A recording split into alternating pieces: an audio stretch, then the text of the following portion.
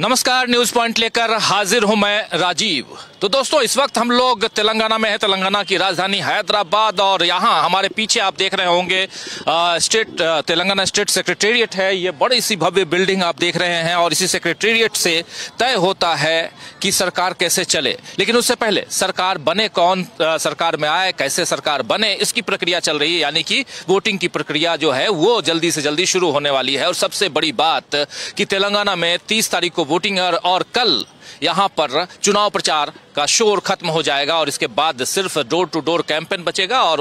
उसके बाद आगे की प्रक्रिया जो होगी मतदान की जो 30 तारीख को आप सबके सामने होगा कितनी परसेंट वोटिंग होती है ये दिन भर हम आपको बताते ही हैं शांतिपूर्ण मतदान हो रहा है नहीं हो रहा है ये तमाम चर्चा हम करते हैं तेलंगाना में एक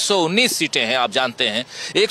सीटों की इस विधानसभा के लिए चार प्रमुख दल हैं आमने सामने चार में से चारों दल कौन कौन से हैं देखिए बीआरएस जो पहले टीआरएस यानी तेलंगाना राष्ट्र समिति अब भारत राष्ट्र समिति के रूप में परिवर्तित हो चुकी है और दो बार से लगातार केसीआर यानी के चंद्रशेखर राव यहाँ के मुख्यमंत्री हैं और इसके अलावा दूसरी पार्टी कांग्रेस है तीसरी पार्टी बीजेपी है चौथी पार्टी असदुद्दीन ओवैसी की ए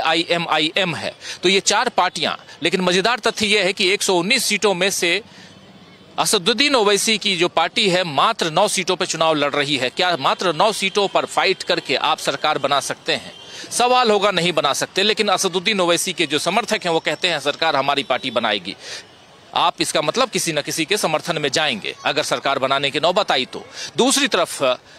बीजेपी है जो पिछली दफा 2018 में मात्र एक सीटें जीती थी फिर उपचुनाव में जीतकर पांच सीटों तक आ गई और बहुत दमखम के साथ चाहती थी सोचती थी कि हम अगली दफा यानी कि 2023 के चुनाव में केसीआर को टक्कर देंगे लेकिन अब आज की परिस्थिति जबकि अब दो दिन का कैंपेन बाकी है दो दिन नहीं बल्कि अब एक दिन का कैंपेन बाकी है और ऐसे में साफ दिखाई दे रहा है कि बीजेपी कहीं ना कहीं पटरी से उतर चुकी है तो अब बचती हैं दो पार्टियां एक पार्टी बीआरएस और दूसरी पार्टी कांग्रेस और बीआरएस और कांग्रेस के बीच ही जबरदस्त फाइट दिखाई दे रही है जब हैदराबाद के आसपास आप रहिए यहां बात कीजिए तो कुछ बातें होती हैं हैदराबाद से बाहर निकल के जाइए तो कुछ बातें होती हैं हैदराबाद से आज हम लोग बाहर निकल के गए 100 किलोमीटर के दायरे में ये समझने की कोशिश कर रहे थे कि आखिर यहां की सियासत में हैदराबाद और हैदराबाद के बाहर के लोग क्या कुछ कहते हैं तो यहां समझ में आया कि नहीं हैदराबाद के बाहर केसीआर से ज्यादा कांग्रेस का जोर है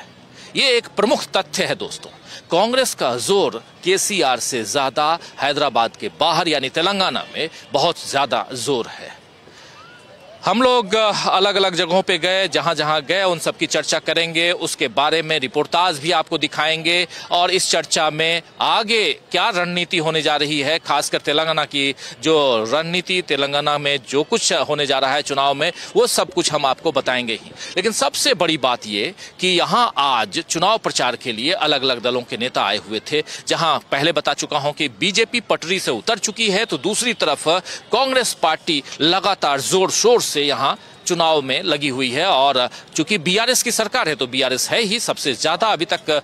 बीआरएस के मुख्यमंत्री तेलंगाना के मुख्यमंत्री के चंद्रशेखर राव रैलियां कर चुके हैं लेकिन इसके अलावा कांग्रेस पार्टी भी कहीं से भी कम नहीं है कांग्रेस पार्टी ने यहाँ पर आप जानते हैं कि कांग्रेस पार्टी ने यहाँ सीधे सीधे आ, राहुल गांधी को प्रियंका गांधी को मल्लिकार्जुन खड़गे को इन सबको झोंक रखा है पूरी की पूरी कांग्रेस टीम यहाँ पे है आज कांग्रेस पार्टी ने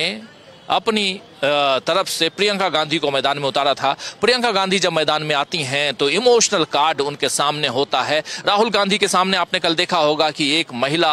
बुजुर्ग महिला इंदिरा गांधी के नाम पर लिखी गई एक कविता को पढ़ रही थी का, और उनके सामने गा के सुनाया आज जब प्रियंका गांधी मंच पर पहुंची तो उन्होंने इंदिरा अम्मा से लेकर सोनिया अम्मा तक की बात की और इंदिरा अम्मा सोनिया अम्मा और कांग्रेस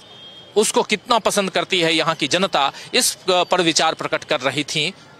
प्रियंका गांधी आइए जरा सुनते हैं प्रियंका गांधी के इन विचारों को और चर्चा को आगे बढ़ाते हैं सीधी सी बात है आपको इंदिर अम्मा याद है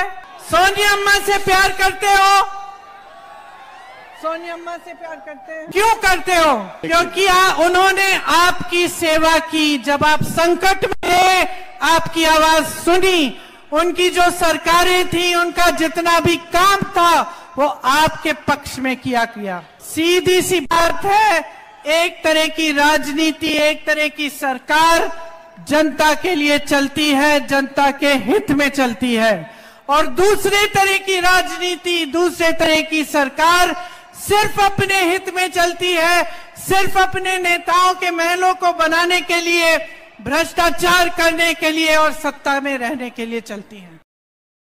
सुन रहे थे इस वक्त प्रियंका गांधी जो इंदिरा अम्मा सोनिया अम्मा और कांग्रेस क्या कुछ कर रही हैं और इंदिरा गांधी को कैसे यहाँ के लोग याद करते हैं सोनिया गांधी को आप याद करते हैं कि नहीं करते हैं ये तमाम बातें आज प्रियंका गांधी अपने मन से कर रही थी और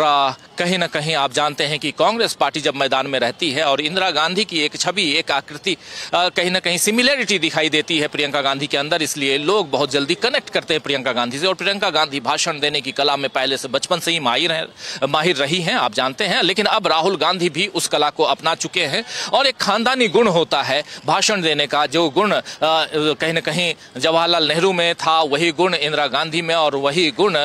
सोनिया गांधी से होते हुए राहुल गांधी राजीव गांधी और अब प्रियंका गांधी इन तमाम नेताओं में आपने देखा है लोग अलग तरह से प्यार करते हैं ये सब आप जानते हैं तो कहीं ना कहीं जोर जो है वो दिखाई तो दे ही रहा है लेकिन दूसरी तरफ आज हम लोग जब यहाँ से बाहर निकले और अलग अलग जगहों पर इस विषय में चर्चा कर रहे थे तो इसी बीच यहाँ के एक प्रसिद्ध गांव में सबसे सुंदर गांव में पहुंचे हम लोग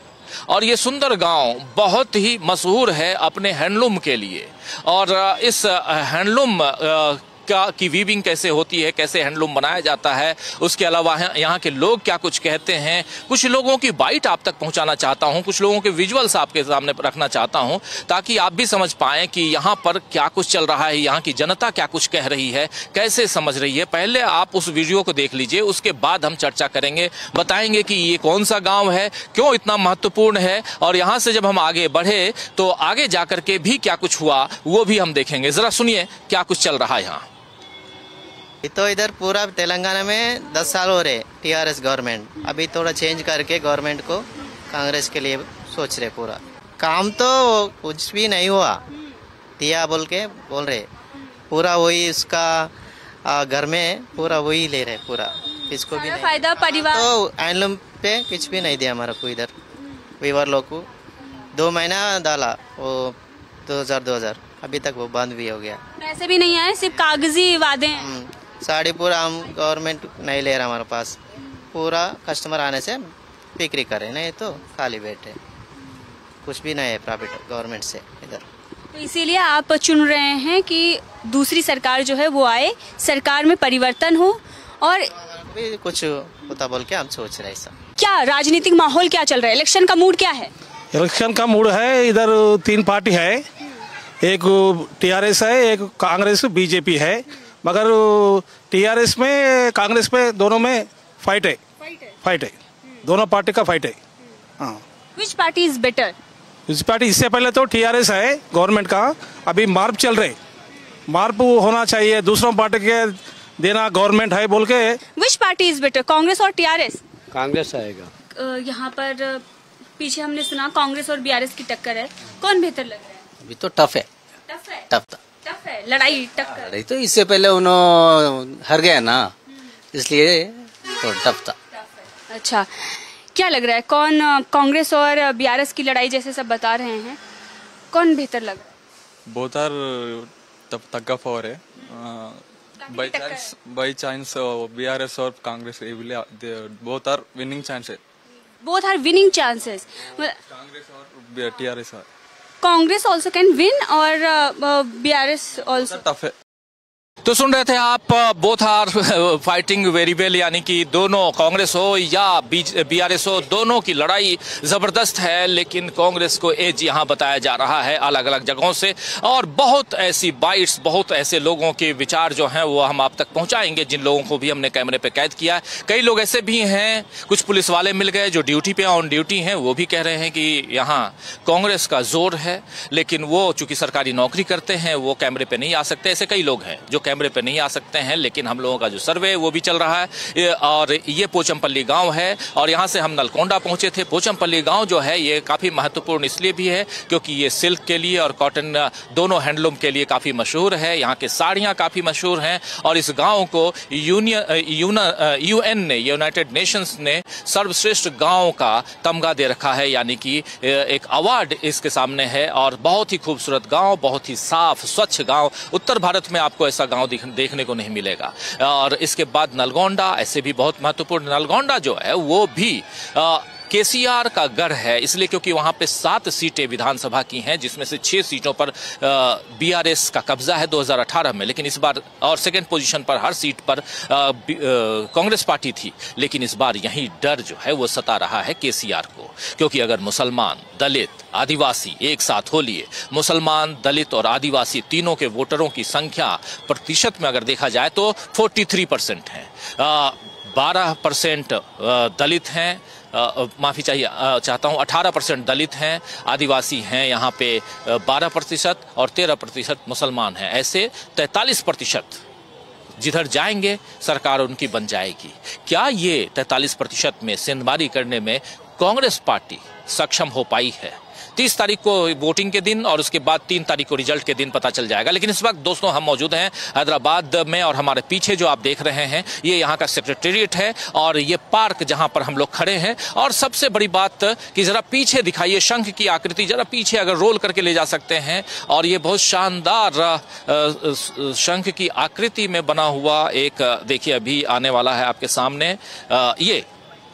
ये शंख की आकृति में एक बहुत ही शानदार इस पार्क में इस आकृति को गढ़ा गया है बहुत ही शानदार ढंग से इस पर थोड़ा अगर नीचे करेंगे तो उस पर भी रिफ्लेक्शन है इस सेक्रेटेरिएट का थोड़ा सा नीचे करेंगे तो वाइट कलर में अगर जूम करके ला पाएँ तो वो जो सेक्रेटेरिएट है वो दिखाई दे रहा है इस पर भी क्योंकि ये शीशे का बना हुआ है और उस पर लाइटिंग की व्यवस्था इतनी शानदार है कि ये शंख के नीचे पूरा का पूरा शीशा है तो ये सब कुछ थोड़ा थोड़ा जहां हम जाते हैं वहां की विशेषता वहां का जो पर्यटक स्थल है वो सब आप तक हम पहुंचाने की कोशिश करते हैं आप पर्यटक बन करके आएँ जब तो आप हमें याद करें और इन चीज़ों को देखने की कोशिश भी करें तो हैदराबाद में आप हैं और हैदराबाद में हम हैं हैदराबाद में आप हमारे ज़रिए हैं हमारे इन आँखों के ज़रिए इस कैमरे के ज़रिए हैं दोस्तों और पीछे अब आप देख रहे हैं कि सेक्रेटेरिएट हमारे पीछे वो आप तक हम पहुँचा चुके हैं हमारे साथ ही प्रशांत टंडन जी लगातार हमारे साथ बने हुए हैं प्रशांत जी आपका आपको बुलाना चाहता हूँ और आपका स्वागत करता हूं इस कार्यक्रम में और थोड़ा हाँ पास और प्रशांत जी के अलावा हमारे साथ कुछ और वरिष्ठ साथी जुड़े हुए हैं स्टूडियो से उन सबका भी परिचय आपको करवाना चाहता हूँ जरा स्टूडियो को ले आइए और पूरा जो जो साथी हमारे साथ जुड़े हुए हैं उन सब देखिए इस वक्त हमारे साथ पांच साथी और जुड़े हुए हैं डॉक्टर प्रकाश हिंदुस्तानी जी हैं विजय शंकर सिंह साहब हैं सुनील शुक्ला जी हमारे साथ जुड़े हुए हैं हमारे साथ डॉक्टर दीपक पाचपोर जी हैं और अमलिंदु उपाध्याय जी हैं आप सबका स्वागत करता हूँ इस्तेबाल करता हूँ स्वागत इस्तेबाल आप तमाम दोस्त साथी शुभचिंतक आप सबका भी जो अब तक जुड़ चुके हैं जुड़ने वाले हैं इस कार्यक्रम में और कार्यक्रम सीधे तेलंगाना की राजधानी हैदराबाद से और अभी अभी भागम भाग में हम लोग और हमेशा यही होता है प्रशांत जी हम लोग याद कीजिए कि जयपुर में भी लगभग दस मिनट का कार्यक्रम हमारा लेट हो गया था क्योंकि हम लोग भागे भागे पैदल दौड़ कर पहुंचे पहुंचे थे और इस कार्यक्रम को सात बजे हम लोगों को करना था आ, लेकिन आ, थोड़ा लेट हो गए थे और आज भी भागम भाग में चार पाँच मिनट लेट हो गए लेकिन आज चूंकि आप आए हैं प्रशांत जी आ, हम लोग घूम करके ज़रा जल्दी आपसे समझना चाहता हूँ कि अब कल से लेकर आज तक में कल जो आप कह रहे थे कि बीआरएस और कांग्रेस के बीच में यहाँ ज़बरदस्त फाइट है उसमें कुछ परिवर्तन नज़र आया या आज भी आप उसी पे कायम हैं देखिए कल तक हम लोग हैदराबाद में थे और हैदराबाद के पुराने शहर में थे जहाँ ओवैसी का कब्ज़ा है और उनका उनका गढ़ है वो और एक तरीके की आवाज़ें आ रही थी वहाँ पे बीआरएस और कांग्रेस और बीजेपी कोई नहीं है वह ओवैसी हैं और सुनने में यह आ रहा है लोगों से बात करने में कि दो तीन सीट में इस बार ओवैसी भी संघर्ष करते दिखाई दे रहे हैं लेकिन जब हम तभी हम लोगों ने तय किया कि हमको सही तस्वीर तब मिलेगी जब हैदराबाद से बाहर जाएंगे तो आज हम नलगौड़ा गए और वहाँ पे नलगौड़ा कभी वामपंथी का गढ़ होता था कभी वो कांग्रेस का भी गढ़ था अभी भी वहाँ के एमपी कांग्रेस के हैं लेकिन सात सीटें वो नलगौड़ा लोकसभा सीट की हैं सात में से छः सीट जो है वो टीआरएस के पास हैं और एक सीट सीपीआई के पास है तो और जब हम लोग ननगौड़ा में थे तो हम देख रहे थे कि वहाँ पे सीपीआई का सीपीआई रैली सीपीआईएम की रैली भी निकल रही थी तो वामपंथी भी चुनाव लड़ते हुए दिखाई दे रहे हैं और मजे की बात है कि वामपंथियों का ग्रेबल भी है वहाँ पे तो, तो ये भी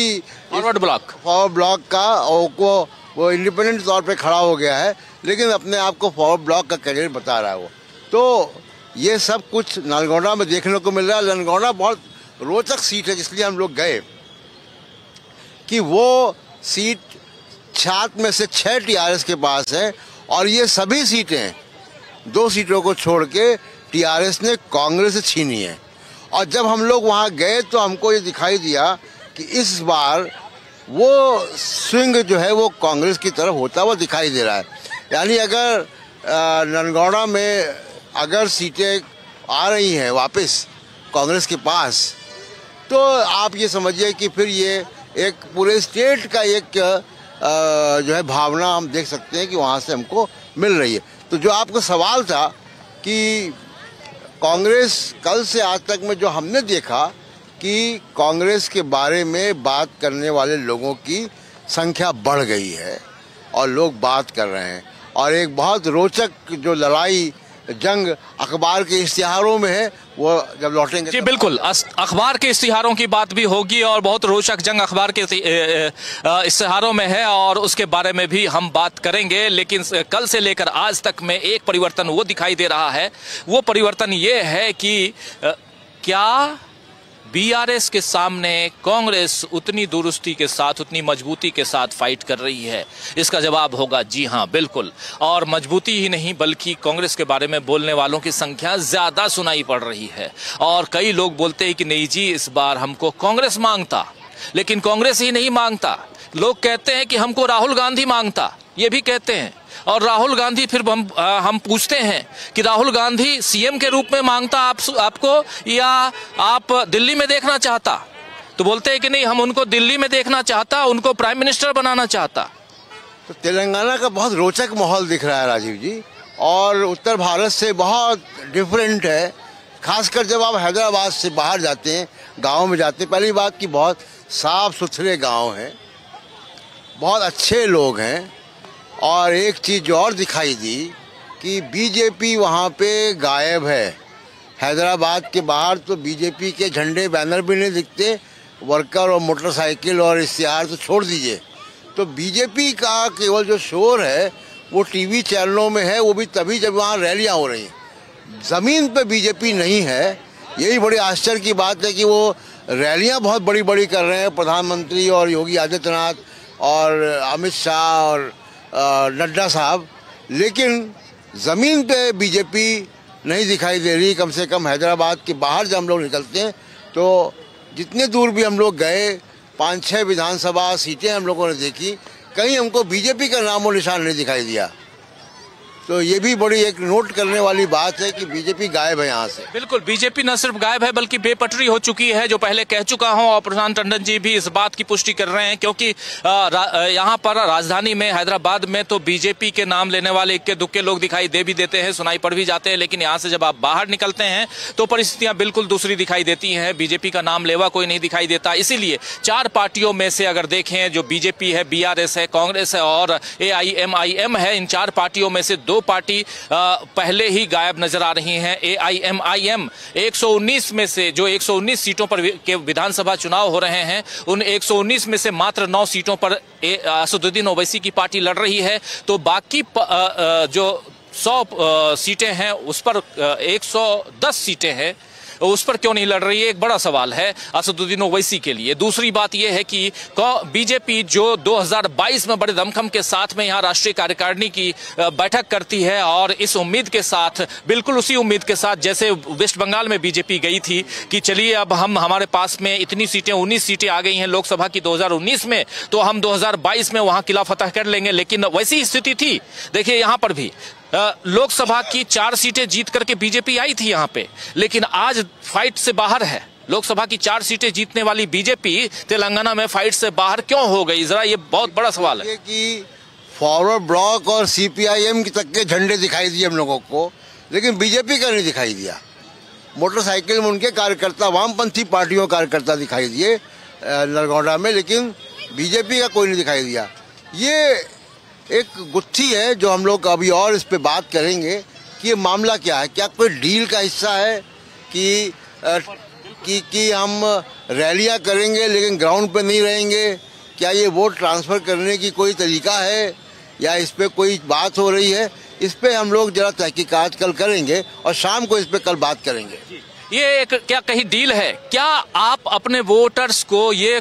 इस ढंग से मतलब वोट शिफ्ट करा रहे हैं या कुछ और है ये भी हम समझेंगे और कल से लेकर आज तक बहुत कुछ इसमें हमने तहकीकात कर ली है और कुछ तहकीकात और करेंगे लेकिन इसके अलावा एक तहकीकात कल से लेकर आज तक हम और कर रहे थे प्रशांत टंडन जी अपने साथियों के पास हम आए जो हमारे साथ स्टूडियो में मौजूद हैं लेकिन उससे पहले आपको याद होगा कि कल कुछ लोग ये कह रहे थे कि कांग्रेस पार्टी ने कर्नाटक में किए गए अपने वादे को नहीं निभाया इसलिए कांग्रेस से हम नाराज हैं कुछ मुस्लिम मतदाता जो यहाँ के हैं वो कह रहे थे कुछ मुस्लिम मतदाता कुछ एक एक आध टैक्सी वाले मिले कुछ और लोगों से ऑटो वालों से हमने बात की कुछ पान ठेले वाले चाय वालों से बात की तो कुछ एक ऐसे लोग थे तो सबसे बड़ी बात यहाँ ये यह है प्रशांत जी कि आज इस आज जब हम लोग तहकीकात कर रहे थे तो वहाँ बात ये निकली कि कांग्रेस ने ऐसा वादा किया ही नहीं था कांग्रेस ने दो हज़ार रुपये प्रति माह वहाँ के प्रत्येक गृहणियों को देने का वादा किया था जो गारंटी में उनके गारंटी कार्ड में था और उसको दे करके उसी में से आप हज़ार रुपये में आप गैस सिलेंडर खरीद लीजिए जो एल गैस एल सिलेंडर पर राहत की बात यहाँ पर वादा किया है वो कर्नाटक में नहीं था कर्नाटक में गारंटियाँ थी वो गारंटियाँ मेरे हिसाब से लगभग पूरी हो चुकी है या गारंटियों पे काम हो चुका है वो हो चुकी है पे वो पाइपलाइन में है अब यहाँ पे जैसे बसों का किराया है गीग वर्कर्स के बारे में बोर्ड बनाने की बात है वो सब चीज़ें हो गई हैं वहाँ पे आ, लेकिन यहाँ पे उन्होंने जो वादा किया है वो कर्नाटक में वैसा वादा नहीं था ये एक झूठा प्रचार व्हाट्सएप के जरिए किया गया लेकिन सबसे बड़ी बात है कि जो झूठा प्रचार व्हाट्सएप के जरिए ये भी यही आसपास में और खासकर असदुद्दीन ओवैसी के जो का जो ग्रुप है उस ग्रुप में इसको प्रचारित करने की कोशिश बहुत ज़्यादा की गई है और आप समझ सकते हैं कि क्यों की गई है और इससे कैसे डेंट लगाने की कोशिश होती है ऐसे ये कांग्रेस के लोगों को समझना चाहिए कि ऐसी जो ऐसे जो दुष्प्रचार होते हैं उसका मुकाबला कैसे करें हालांकि आज जयराम रमेश ने प्रेस कॉन्फ्रेंस करके इस बात की आ, का जो रहस्य है उससे पर्दा उठाने की कोशिश की है और जो बात हम लोग कह रहे हैं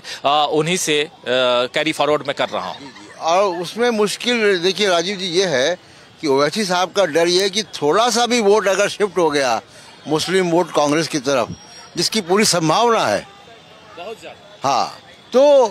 तो फिर उनकी दो तीन सीटें कम होंगी और इसका पूरे भारत में जो ये सौ पचास सीटें दूसरे राज्यों में जाके लड़ते हैं वोट काटने के लिए उनका वो थोड़ा बहुत भी जो असर है वो ख़त्म हो जाएगा मतलब बी टीम की प्रोडक्टिविटी खत्म हो जाएगी तो आप बी टीम कहलाने लायक भी नहीं रहेंगे आपके पास ए और बी के अलावा सी और डी तो बचता नहीं है और अगर आपकी प्रोडक्टिविटी यहाँ नहीं रही तो उसके बाद आप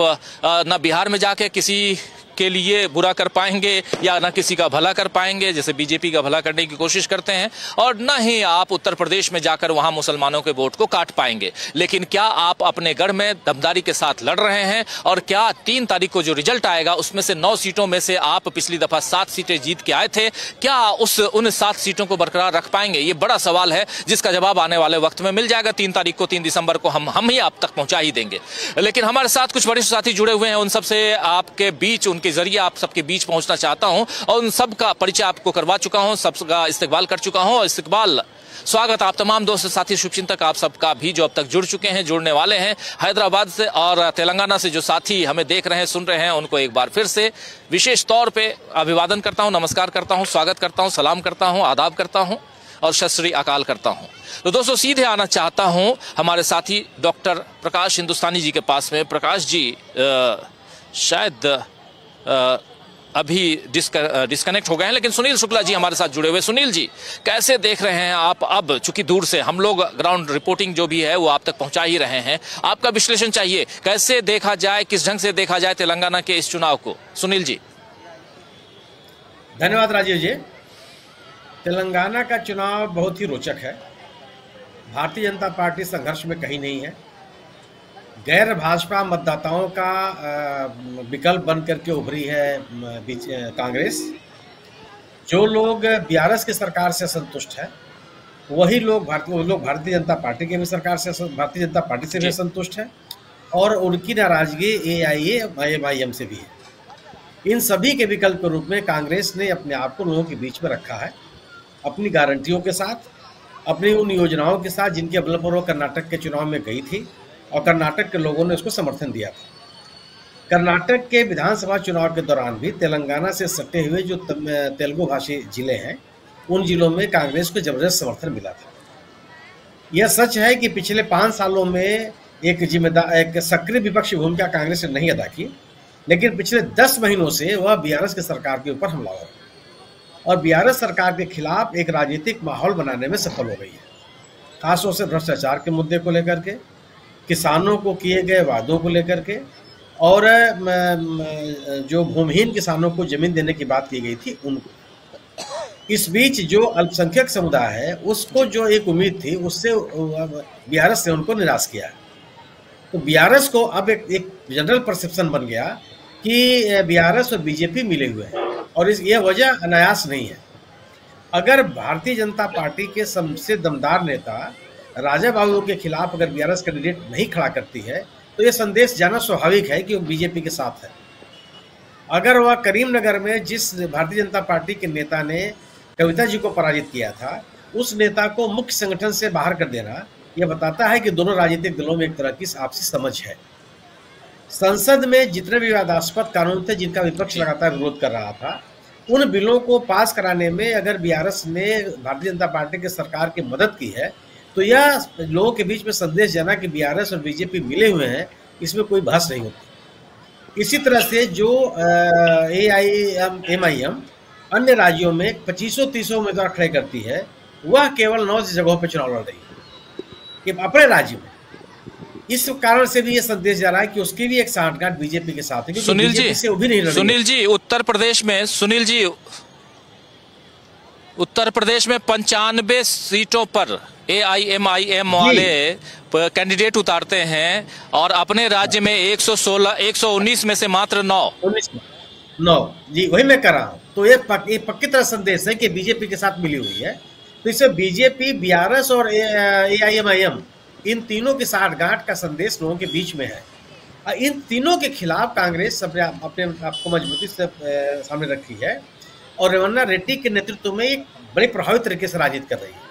रेवन्ना रेड्डी भी चूंकि तेलुगु देशम से कांग्रेस में आए हैं और वहाँ के प्रभावशाली नेता माने जाते हैं और उनकी सक्रियता ने एक विकल्प के रूप में अपने आप को कांग्रेस के रूप में अपने आप को प्रस्तुत किया और इस अभियान की शुरुआत राहुल गांधी की भारत जोड़ो यात्रा के दौरान ही शुरू हो गई थी जब राहुल गांधी ने बी के सरकार पर तीखे हमले किए थे और ये आरोप लगाया था कि इस देश के भ्रष्टतम सरकारों में से एक है इस एक पूरे पूरे के पूरे मामले में जो बीआरएस भाजपा और ए I am I M C वैसे साहब से तो असंतुष्ट लोग हैं उनकी स्वाभाविक चॉइस जो है वह कांग्रेस मन की उभरी है और कांग्रेस ने संगठनात्मक रूप से भी अपने आप को मजबूत किया तेलंगाना में कर्नाटक में जीत के बाद उसके संसाधनों में भी ताकत आई है और प्लस नेताओं की भी सक्रियता बढ़ी है तो दलितों में अल्पसंख्यकों में और भारतीय जनता पार्टी से संतुष्ट लोगों में कांग्रेस ने अपनी दखल और अपने विश्वास को बढ़ाया है और पूरा का पूरा चुनाव एक बड़े मजेदार स्थिति में है जिसमें भारतीय जनता पार्टी कहीं नहीं है भारतीय जनता पार्टी ऐसा नहीं है कि बीआरएस से असंतुष्ट लोग बीजेपी में जा सकते हैं क्योंकि लोगों का मानना है कि बीआरएस और बीजेपी आप एकदम आपस में इनकी अपनी आपसी समझदारी है इसलिए बीआरएस से भी संतुष्ट असंतुष्ट लोग बीजेपी को अपना चॉइस नहीं मान सकते नहीं मान भी रहे हैं जो लोगों से बात करके बात समझ में आती है मेरा अपना मानना है कि कांग्रेस ने जिस तरीके से स्थानीय नेताओं को महत्व दिया है स्थानीय मुद्दों पर अपने आप की रा, अपने राजनीति को केंद्रित किया है और भारतीय जनता पार्टी और बीआरएस के विकल्प के रूप में एक मजबूत राजनीतिक ताकत के रूप में उभरी है तो वह जो एंटी इनकम्बेंसी का माहौल है वह उस वह कांग्रेस के पक्ष में जाता हुआ दिख रहा है अब स्थिति यह है कि मैंने जो जिन लोगों ने तेलंगाना बनाने के लिए संघर्ष किया क्या हुआ मैं वो मुद्दा हावी होगा मुझे लगता है कि 10 साल के शासन के बाद इस तरह के भावनात्मक मुद्दे काम करते नहीं अब यह होगा कि 10 साल के शासन काल में आपने किया क्या अगर अगर आप ये बात करेंगे और अगर आप एक जैसे कि बीआरएस ने भी अल्पसंख्यकों में केवल ओवैसी साहब को अपने साथ रखा अल्पसंख्यकों के जो दूसरे इदारे हैं वह सब के सब बीआरएस के खिलाफ है क्योंकि उनको उनको बीआरएस की सरकार ने कोई महत्व दिया नहीं और अपने साथ रखा भी नहीं और यह मानना कि अल्पसंख्यकों का एकमात्र इदारा I M I M M है यह बहुत तार्किक निर्णय नहीं बहुत तार्किक कंक्लूजन नहीं है बहुत सारे इदारे वहाँ काम कर रहे हैं जो ज, ज, जिनके पैठ अल्पसंख्यक समुदाय में बहुत है ये उम्मीद की जा रही थी कि हैदराबाद बृहद नगर निगम के चुनाव में जब अड़तालीस सीटें बीजेपी ने जीता था तो उम्मीद की जाती कि तेलंगाना की राजनीति में उभर करके सामने आएगी लेकिन यह बहुत ही सतही एक तरह का निष्कर्ष था बीजेपी को लोगों ने हैदराबाद नगर निगम के चुनाव में इसलिए वोट लिया कि उस समय अगर आप याद कीजिए तो वहाँ बाढ़ की स्थिति थी और बाढ़ में सहायता पहुंचाने के नाम पर लोगों के मन में नाराजगी थी बिहार सरकार के खिलाफ कांग्रेस संगठनात्मक रूप से उतनी मजबूत नहीं थी तो बीआरएस से संतुष्ट लोगों ने कांग्रेस बीजेपी को दिया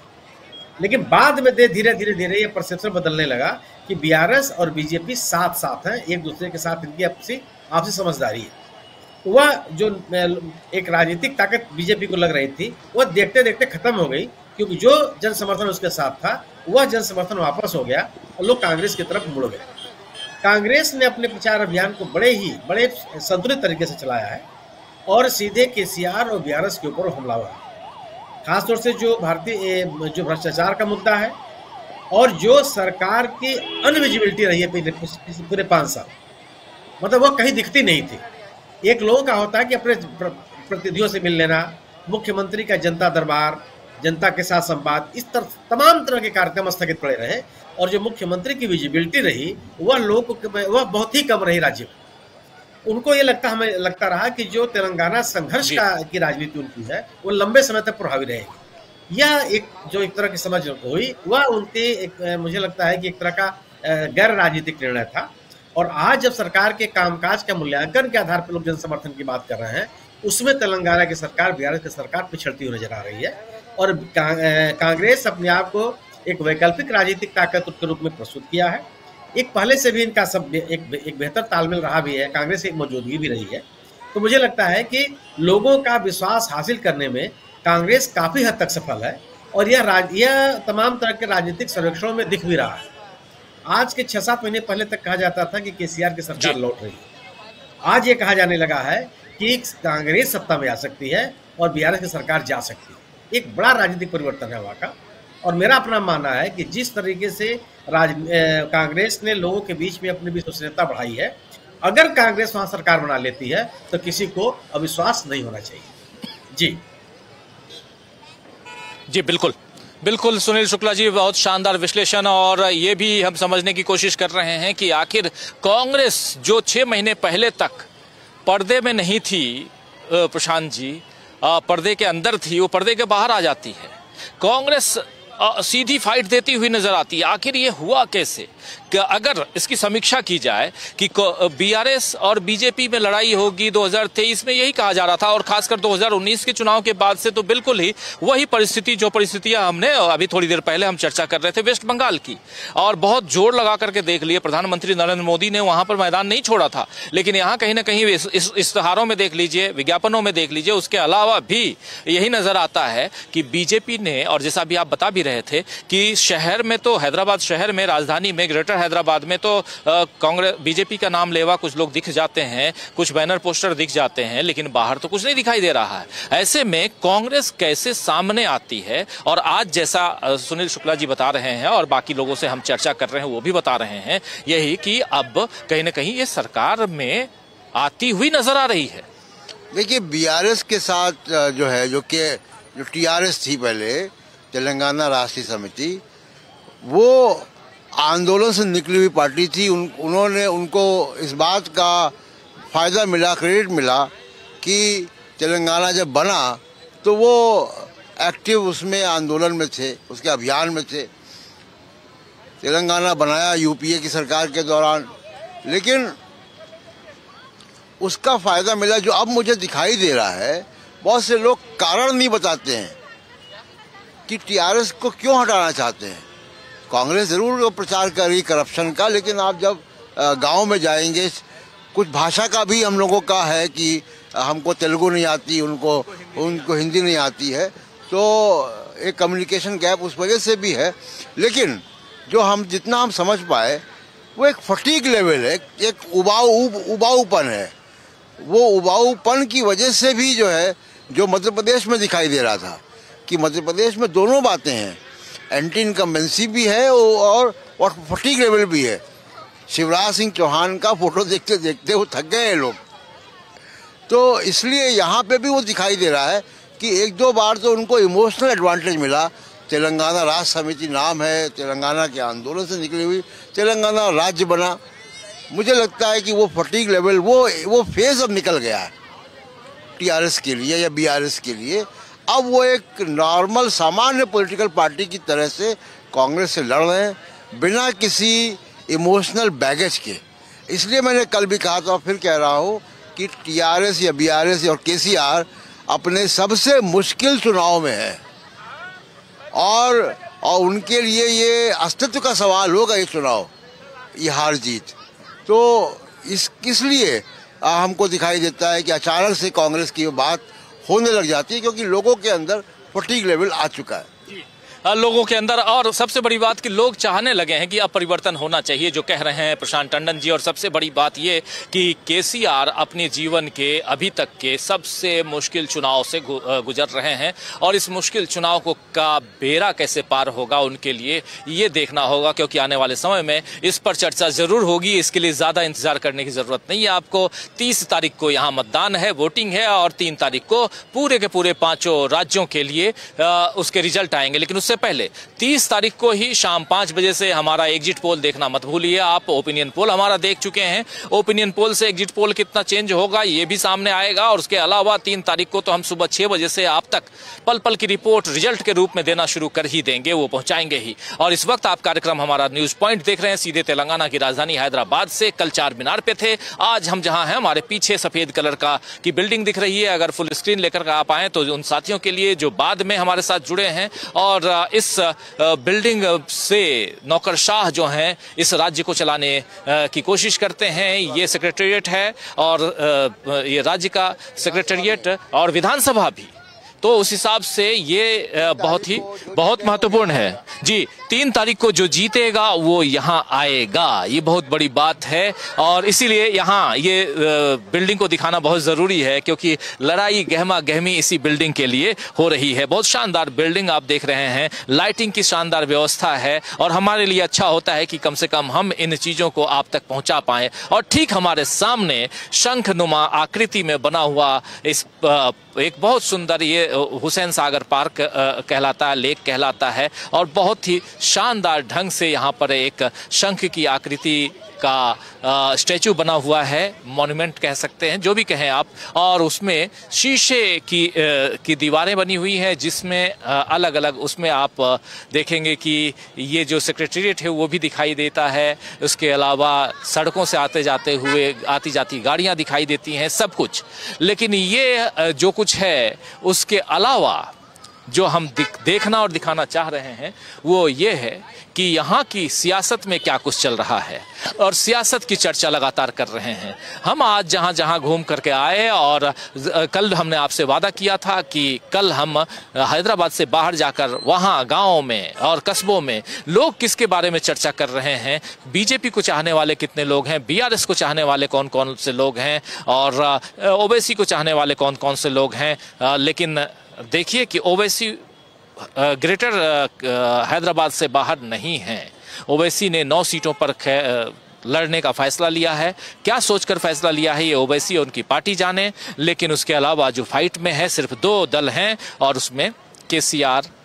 बड़ी मुस्तैदी के साथ चुनाव लड़ रहे हैं और सामने आर फैक्टर काम कर रहा है आर फैक्टर यानी राहुल गांधी और रेड्डी रेवंत रेड्डी इन दोनों का फैक्टर काम कर रहा है और इन दोनों को मजबूती देने के लिए दो लोग और भी हैं एक है प्रियंका गांधी दूसरे हैं मल्लिकार्जुन खड़गे तो इन चार की जोड़ी जो है वो क्या गुल खिलाएगी तीन तारीख को पता चलेगा हमारे साथ जुड़े हुए हैं विजय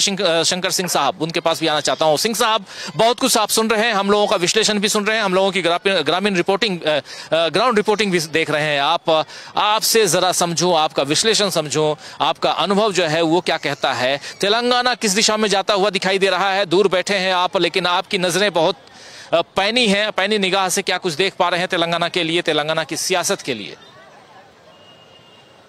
बिल्कुल जब तेलंगाना का चुनाव हुआ था और में छत्तीसगढ़ मध्य प्रदेश राजस्थान मिजोरम और तेलंगाना के सभी एक साथ शुरू हुए थे तो तेलंगाना को लेकर सिंह साहब सिंह साहब माफी चाहता हूँ रोकना चाहूंगा एक बार रिकनेक्ट कीजिए आपके साउंड में जो हमिंग आती है वही है आ, आपको रोक रहा हूँ थोड़ा एक बार रिकनेक्ट कर लीजिए तब तक आता हूँ हमारे साथ डॉक्टर प्रकाश हिंदुस्तानी जी जुड़ गए हैं प्रकाश जी आप भी सुन रहे हैं तमाम हमारे इन विश्लेषणों को और ग्राउंड रिपोर्ट को भी देख रहे हैं जरा आपसे समझो कि अब आप भोपाल में बैठे भोपाल नहीं बल्कि इंदौर में बैठे हुए हैं और मध्य प्रदेश पैक हो चुका राजस्थान पैक हो चुका है छत्तीसगढ़ पैक हो चुका है मिजोरम पैक हो चुका है अब आखिरी राज्य तेलंगाना तेलंगाना हाँ, और कैसे देखते हैं आप क्या कुछ होने जा रहा है आपके नजर से तेलंगाना में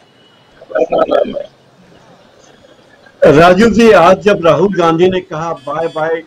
केसीआर तो लोगों ने जो बातें कही जो उत्साह लोगों में देख जो वो बड़ा अद्भुत था और राहुल गांधी ने कहा कि तेलंगाना में दोराना सरकार यानी सामंत की सरकार जाएगी और प्रजला सरकार आएगी तो इससे लोगों का उत्साह देखने लायक था लोग जो ताजा रहे थे इसका मतलब यह है कि लोगों का विश्वास है नदी में पिछले चुनाव में भले ही कांग्रेस प्रमुख दल के रूप में नहीं हो प्रमुख विरोधी पार्टी नहीं रही हो लेकिन कांग्रेस ने इस बार जो छह वादे किए छह गारंटी दी है उसका असर देखने को मिल रहा है राहुल की रैलियों में देखने को मिल रहा है जो खबरें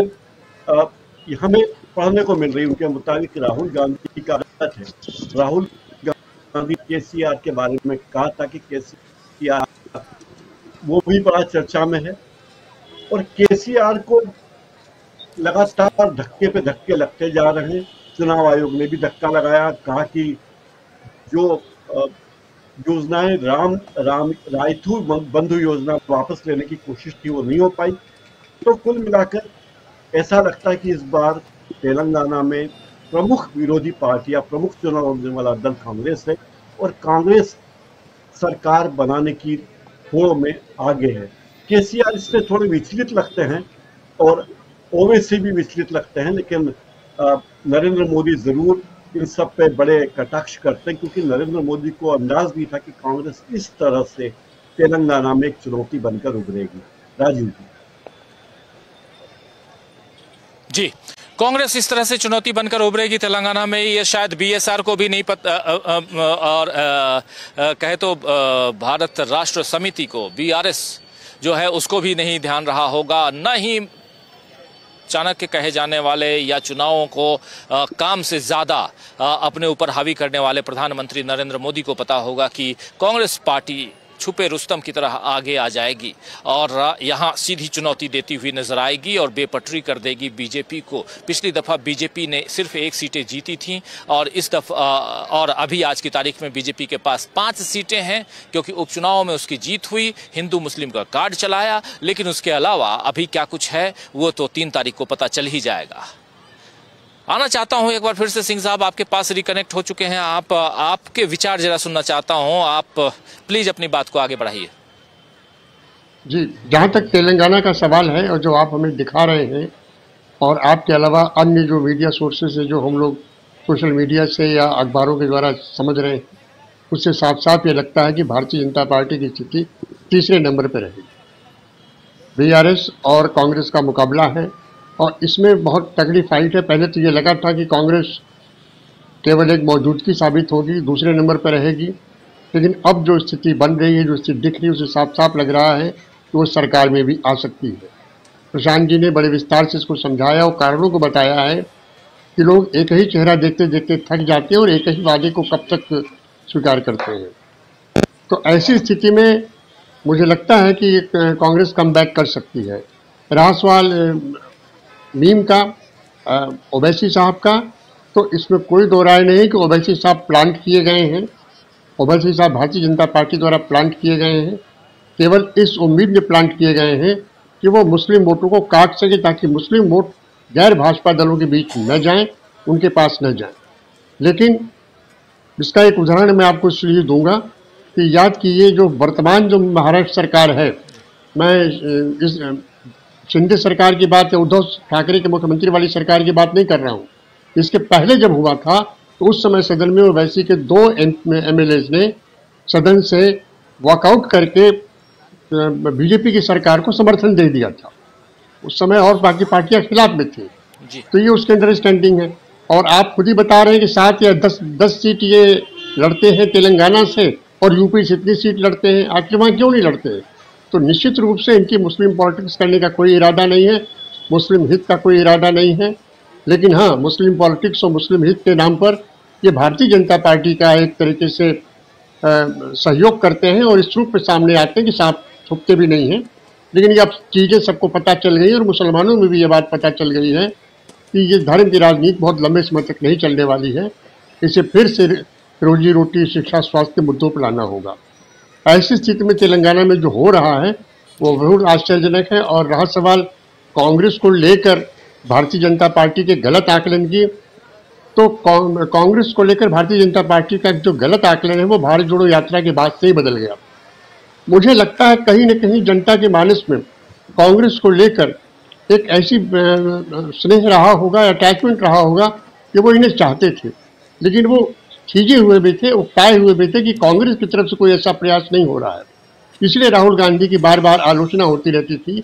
कि वो पार्ट टाइम पॉलिटिक्स करते हैं जनता के बीच नहीं जाते हैं जनता से मिलते नहीं हैं उनका अपना कॉकस घेरे रहता है लेकिन जब भारत जोड़ो यात्रा शुरू हुई तब ये सारे चीज़ें ख़त्म हो गई और जब वो जनता के बीच आए हैं तो जनता ने उनको हाथों हाथ लिया है यही वजह है जिसका परिणाम हमें हिमाचल में देखने को मिला कर्नाटक में देखने को मिला छत्तीसगढ़ और मध्य प्रदेश से इनके जीतने की खबरें हर सर्वे बता रहे हैं राजस्थान में बहुत तगड़ी फाइट है लेकिन फिर भी वहाँ जैसा लोग बता रहे हैं अंतिम समय में कांग्रेस बहुत अच्छा लड़ी है और अगर तेलंगाना में अगर ये सफल होते हैं तो निश्चित रूप से उनकी बहुत बड़ी उपलब्धि होगी तो मुझे लगता है कि जो आप देख रहे हैं और दिखा रहे हैं उसमें काफ़ी कुछ दम है और हो सकता है कांग्रेस वहाँ सरकार बना ले अगर नहीं बनाती है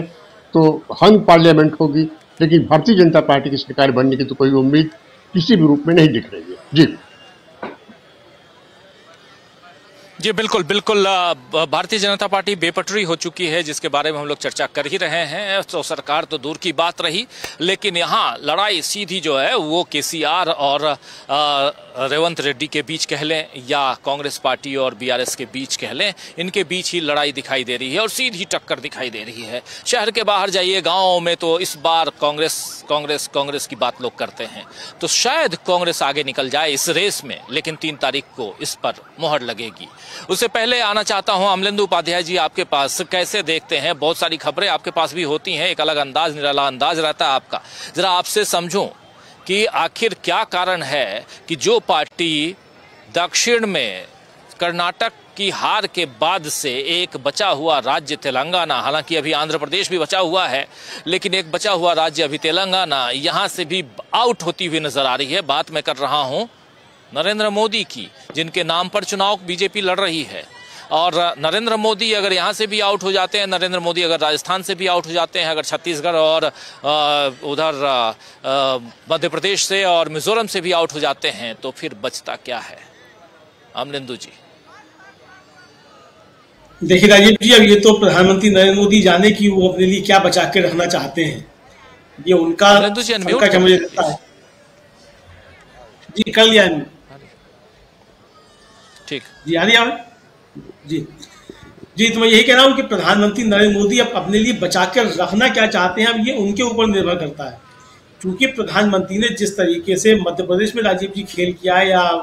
राजस्थान में जो खेल किया तमाम बड़े नेताओं की जो है एक तरीके से कहा वो बलि चढ़ाने का काम किया अब उसके बाद तेलंगाना में क्या बचता है उनके पास ये प्रधानमंत्री को सोचना है तेलंगाना का रण वैसे भी राजीव जी काफ़ी ज़्यादा मुझे लगता है कांग्रेस की तरफ जा रहा है कांग्रेस सेंट्रिक होता जा रहा है और जैसे जैसे चुनाव लगा कांग्रेस वहां काफी के साथ आगे बढ़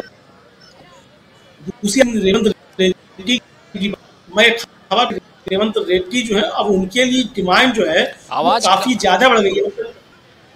जी राहुल गांधी के बाद जो है मतलब जिस आदमी की सबसे ज्यादा डिमांड वहाँ हो रही है वो एक रेवंत रेड्डी भी है मतलब रेवंत रेड्डी जो है उनके लिए जनता चार चार घंटे इंतजार कर रही है और रेवंत रेड्डी को सुनने के लिए बेताब हो रही है तो ये एक तरीके से मुझे लगता है कि रेवंत रेड्डी की भी वहां जो है काफी ज्यादा लोकप्रियता बढ़ी है और राहुल गांधी ने जिस तरीके से उनके कंधे पे हाथ रखा है रेवंत रेड्डी के कंधे पे और रेवंत रेड्डी ने जिस तरीके से लगातार पिछले दिनों जो है इस सरकार के खिलाफ जो के की सरकार के खिलाफ जो संघर्ष किया उससे वो कांग्रेस को एकदम जो है लड़ाई में आकर के ले आए हैं और उसके बाद जो राहुल गांधी की जो भारत जोड़ो यात्रा हुई तेलंगाना में उसने एक अच्छा साथ निकाला राजीव जी उससे भी कांग्रेस को वहाँ जो है कार्य बूस्ट जो है वो अच्छे तरीके से मिला है रही सही कसर जो है राजीव जी वो आर ने की जो काम है उन्होंने जो पूरी कर दी जिस तरीके से और प्रधानमंत्री नरेंद्र मोदी जाकर के खुद बोला है कि वो तो जो है उनकी मैंने मतलब एक तरीके से बी टीम है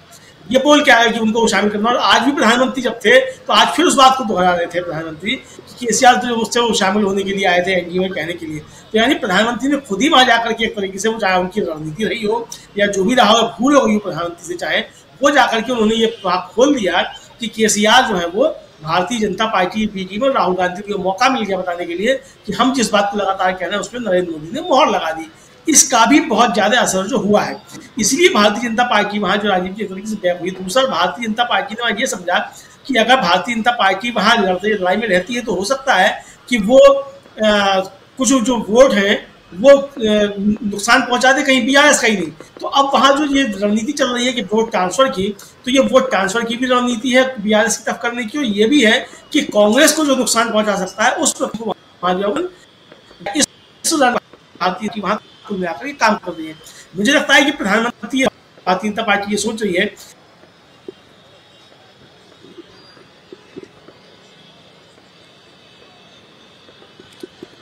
अमलेंदु जी डिस्कनेक्ट हो गए हैं शायद सीधा आना चाहता हूं हमारे साथ जुड़ गए हैं राहुल लाल जी राहुल लाल जी आपके पास आना चाहता हूं आ, कैसे आप देखते हैं इस चुनाव को और खासकर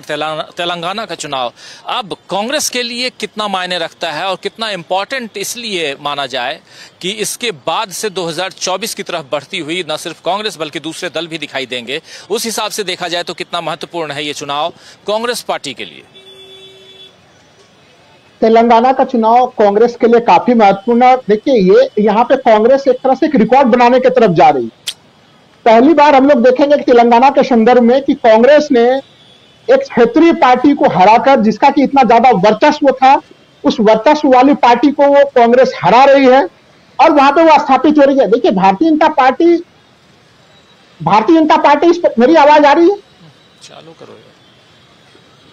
अच्छा आ रही है हाँ। मैं कह रहा हूं देखिए भारतीय जनता पार्टी के साथ एक चीज एक समस्या हम लोग देख रहे थे कि वो बड़े तैयार थी कि बाय डिफॉल्ट हमें तेलंगाना का सत्ता हमारे हाथ लग जाएगा यानी कि बीआरएस पे अगर लोगों में नाराज एक तरह से नाराजगी की स्थिति होगी तो हमें मिल जाएगी सत्ता लेकिन भारत जोड़ो यात्रा ने सबसे पहले स्थितियों को बदला और अगर हम लोग देखें जुलाई अगस्त सितंबर से जो पूरी की पूरी कांग्रेस की जो पूरी लड़ाई रही वो लड़ाई इस रूप में रहे कि जैसे जैसे दिन आगे बढ़ते चले गए कांग्रेस ने काफी प्रभावी तरीके से वहां पर अपने आप को मैदान में उतारा और आज स्थिति यह है कि केवल हैदराबाद जैसे कुछ शहरी क्षेत्रों को छोड़ दिया गया तो बाकी हर जगह ग्रामीण क्षेत्रों में कांग्रेस की बिल्कुल वहां पे बिल्कुल मजबूत आवाज है वहां पर और कांग्रेस कांग्रेस के नारे लग रहे हैं आप राहुल गांधी के तमाम या प्रियंका गांधी के जो तमाम विजुअल्स लंबे समय से अगर हम लोग देख रहे हैं वहां पे देखिए जनता बिल्कुल किस तरह से मंत्रमुग्ध होकर देख रही है तो बी आर एस जिन्होंने अपना नाम भी बदल लिया तेलंगाना राष्ट्र समिति से अपने आप को भारत राष्ट्र समिति कर लिया उस नाम को बदलते समय वो भूल गए कि उनके प्रति एंटी इनकमेंसिव फैक्टर काफी हाई है वहां पे लोगों में नाराजगी काफी ज्यादा है और राहुल गांधी और कांग्रेस जिन मामलों को उठा रहे हैं जिन चीजों को उठा रहे हैं जनता का उसके ऊपर सबसे ज्यादा विश्वास है तो तेलंगाना का तेलंगाना की लड़ाई एक तरह से मैं मानता हूं कि अपने आप में काफी रोचक लड़ाई है ये एक ऐसी लड़ाई है जिसे पहले लोग मान रहे थे कि ठीक है वहां पे कांग्रेस संघर्ष कर रही विपक्ष विपक्षी दल विपक्ष में प्रमुख भूमिका निभाने के लिए बड़े बड़े लोग इसी रूप में उसको देख रहे थे लेकिन आज स्थिति यह आ गई है कि कांग्रेस सीधे सीधे वहां पे सत्ता को बदल देने के लिए तैयार है कांग्रेस वहां पे पूरे सत्ता के मैदान को बदल रही बदल रही है और यह हम लोग अगर याद करें कांग्रेस की राजनीति में कि देखिए कांग्रेस ने अलग अलग जगहों पर जहां पे क्षेत्रीय दल स्थापित हुए कांग्रेस के ऊपर जो आरोप लगता है कि कांग्रेस क्षेत्रीय दलों से भारतीय जनता पार्टी से तो लड़ भी लेती है लेकिन कांग्रेस मजबूत क्षेत्रीय दलों से लड़ाई नहीं लड़ पाती है उसका एक बड़ा ज्वलंत उदाहरण हमें लग रहा है तेलंगाना का चुनाव बनेगा तेलंगाना के चुनाव में भी वही मुद्दे हैं कुछ जो राहुल गांधी लंबे समय से उठाते रहे चाहे वो गरीबी का लड़ाई हो बेरोजगारी का मामला हो जो तमाम आर्थिक मामला हो आर्थिक विषमता की लड़ाई हो वो जिस तरह से राहुल गांधी एक संघर्ष करते हैं आदिवासियों के लिए दलितों के लिए उनका पूरा का पूरा संघर्ष जो ओबीसी के लिए हो रहा है सामाजिक न्याय के लिए जो राहुल गांधी संघर्ष करते हैं आज तेलंगाना में यही सारे मुद्दे जो है वो चुनाव के मुद्दे बने हुए हैं तो एक चीज तो ये भी समझ में आ रही है कि अगर हम लोग इन पांचों राज्यों के विधानसभा चुनाव को देखते हैं क्योंकि तेलंगाना इसमें सबसे आखिर में हो रहा है पहले के चुनाव में जो चुनाव के मुद्दे होते थे चुनाव का पिच होता था वो राजीव जी भारतीय जनता पार्टी तैयार करती थी लेकिन अब हम लोग आराम से कह सकते हैं कि भारतीय जनता पार्टी को के पिच को भी अपने पिच पर आने के लिए अगर कोई विवश करता है तो वो कांग्रेस है कांग्रेस ने अपनी चुनावी रणनीति अपने कम्युनिकेशन स्किल जनता के बाद अपने संदेश पहुंचाने के तरीके जिस प्रभावी तरीके से कर रही है उसका तमाम असर दिख रहा है आप तो वहां पर जमीन पर मौजूद है आप पूरे के पूरे ग्रामीण क्षेत्र में आप कहीं भी जाएंगे तो वहां पर अभी भी लोग इंदिरा गांधी को किस जोश शोर से याद कर रहे हैं तो इंदिरा गांधी से लेके राहुल गांधी तक याद करने वाले लोगों की पूरी की पूरी पीढ़ी बनी हुई और एक चीज जो सबसे इंटरेस्टिंग चीज है अगर 2018 से क्योंकि बहुत सारे लोग ये कहते हैं कि कांग्रेस किस तरह से बड़े गैप को भर लेगी जो गैप है वो काफी ज्यादा बड़ा गैप था 2018 तक उस गैप को कैसे भरेगी हम लोगों को ये नहीं भूलना चाहिए कि 2018 के चुनाव में बीआरएस को उस, उस समय एक उनको विलन प्राप्त हो गया था उन्होंने चंद्रबाबू नायडू को बड़ा विलन के रूप में दिखाया था वहां पे और उनको विलन बनाने में वो सफल हो गए थे इस बार बीआरएस खुद ही विलन बन के घूम रही है यानी उनको यह मौका नहीं मिल पाया है कि वो वहां के कमियों को दूर करने के लिए तमाम किसी और चीजों को दूर करने के लिए किसी और को विलन बना के लोगों को डरा सके तो यह मौका इस बार कांग्रेस पार्टी ने उन्हें नहीं दिया है बल्कि कांग्रेस पार्टी ने उनकी घेराबंदी इस प्रकार कर दी है कि बीआरएस अब खुद ही जनता के बीच में विलन बन चुके हैं तो पिछले बार चंद्रबाबू नायडू को बड़ा आराम से विलन बना के वो लड़ाई बड़ा मजबूती से जीत गए थे तो ये भी एक हम मैं मानता हूं कि बीआरएस के पास कोई मुद्दा नहीं है कि वो कांग्रेस को कैसे काउंटर करे लोगों के मन में एक सवाल राजीव जी अभी भी बना हुआ है कि आखिर जो ओवैसी है वो नौ नौ नौ सीटों पर चुनाव क्यों लड़ रहा है ये सवाल का जवाब अभी तक नहीं मिल पा रहा हम लोगों को सोचिए कि अगर वहां पर पंद्रह से बीस परसेंट वाली सीटों का हम लोग अगर हम लोग देखते हैं जो तेलंगाना में स्थिति है कम से कम उनतीस तीस सीटें कम से कम होती है तो उस दृष्टि से तो उन्हें कम से कम उनतीस तीस सीटों पर चुनाव लड़ना चाहिए ओवैसी जी वो कभी नहीं लड़ते हैं तो ये जो राहुल गांधी के जो आरोप हैं कि ओवैसी बीआरएस ये सबके सब लोग मिले हुए हैं सबके सब सारे लोग उसकी काफी ज्यादा पुष्टि भी हो जाती है इस आंकड़े के साथ राजीव जी बिल्कुल बिल्कुल सही कह रहे हैं बहुत सारी बातें आप बता रहे हैं और इस इस तेलंगाना के चुनाव में बहुत सारे विश्लेषण इस हिसाब से सामने आएंगे भी दोस्तों क्योंकि तेलंगाना ऐसा राज्य है जहां से आप कांग्रेस के उत्थान की बात कह सकते हैं क्योंकि अगर कांग्रेस यहाँ उस मजबूती के साथ फाइट करती हुई नजर आ रही है तो उसके पीछे के कारण क्या हैं देखिए छत्तीसगढ़ मध्य प्रदेश और राजस्थान में तो कांग्रेस जीतती आई है और पिछली दफ़ा भी तीनों राज्यों में कांग्रेस की जीत हासिल हुई थी और खासकर अभी राजस्थान और छत्तीसगढ़ में तो कांग्रेस की सरकार भी है लेकिन मध्य प्रदेश में भी जीती थी उसकी सरकार छीन ली गई ये एक अलग बात है तेलंगाना में पिछली दफ़ा कांग्रेस बुरी तरह हारी थी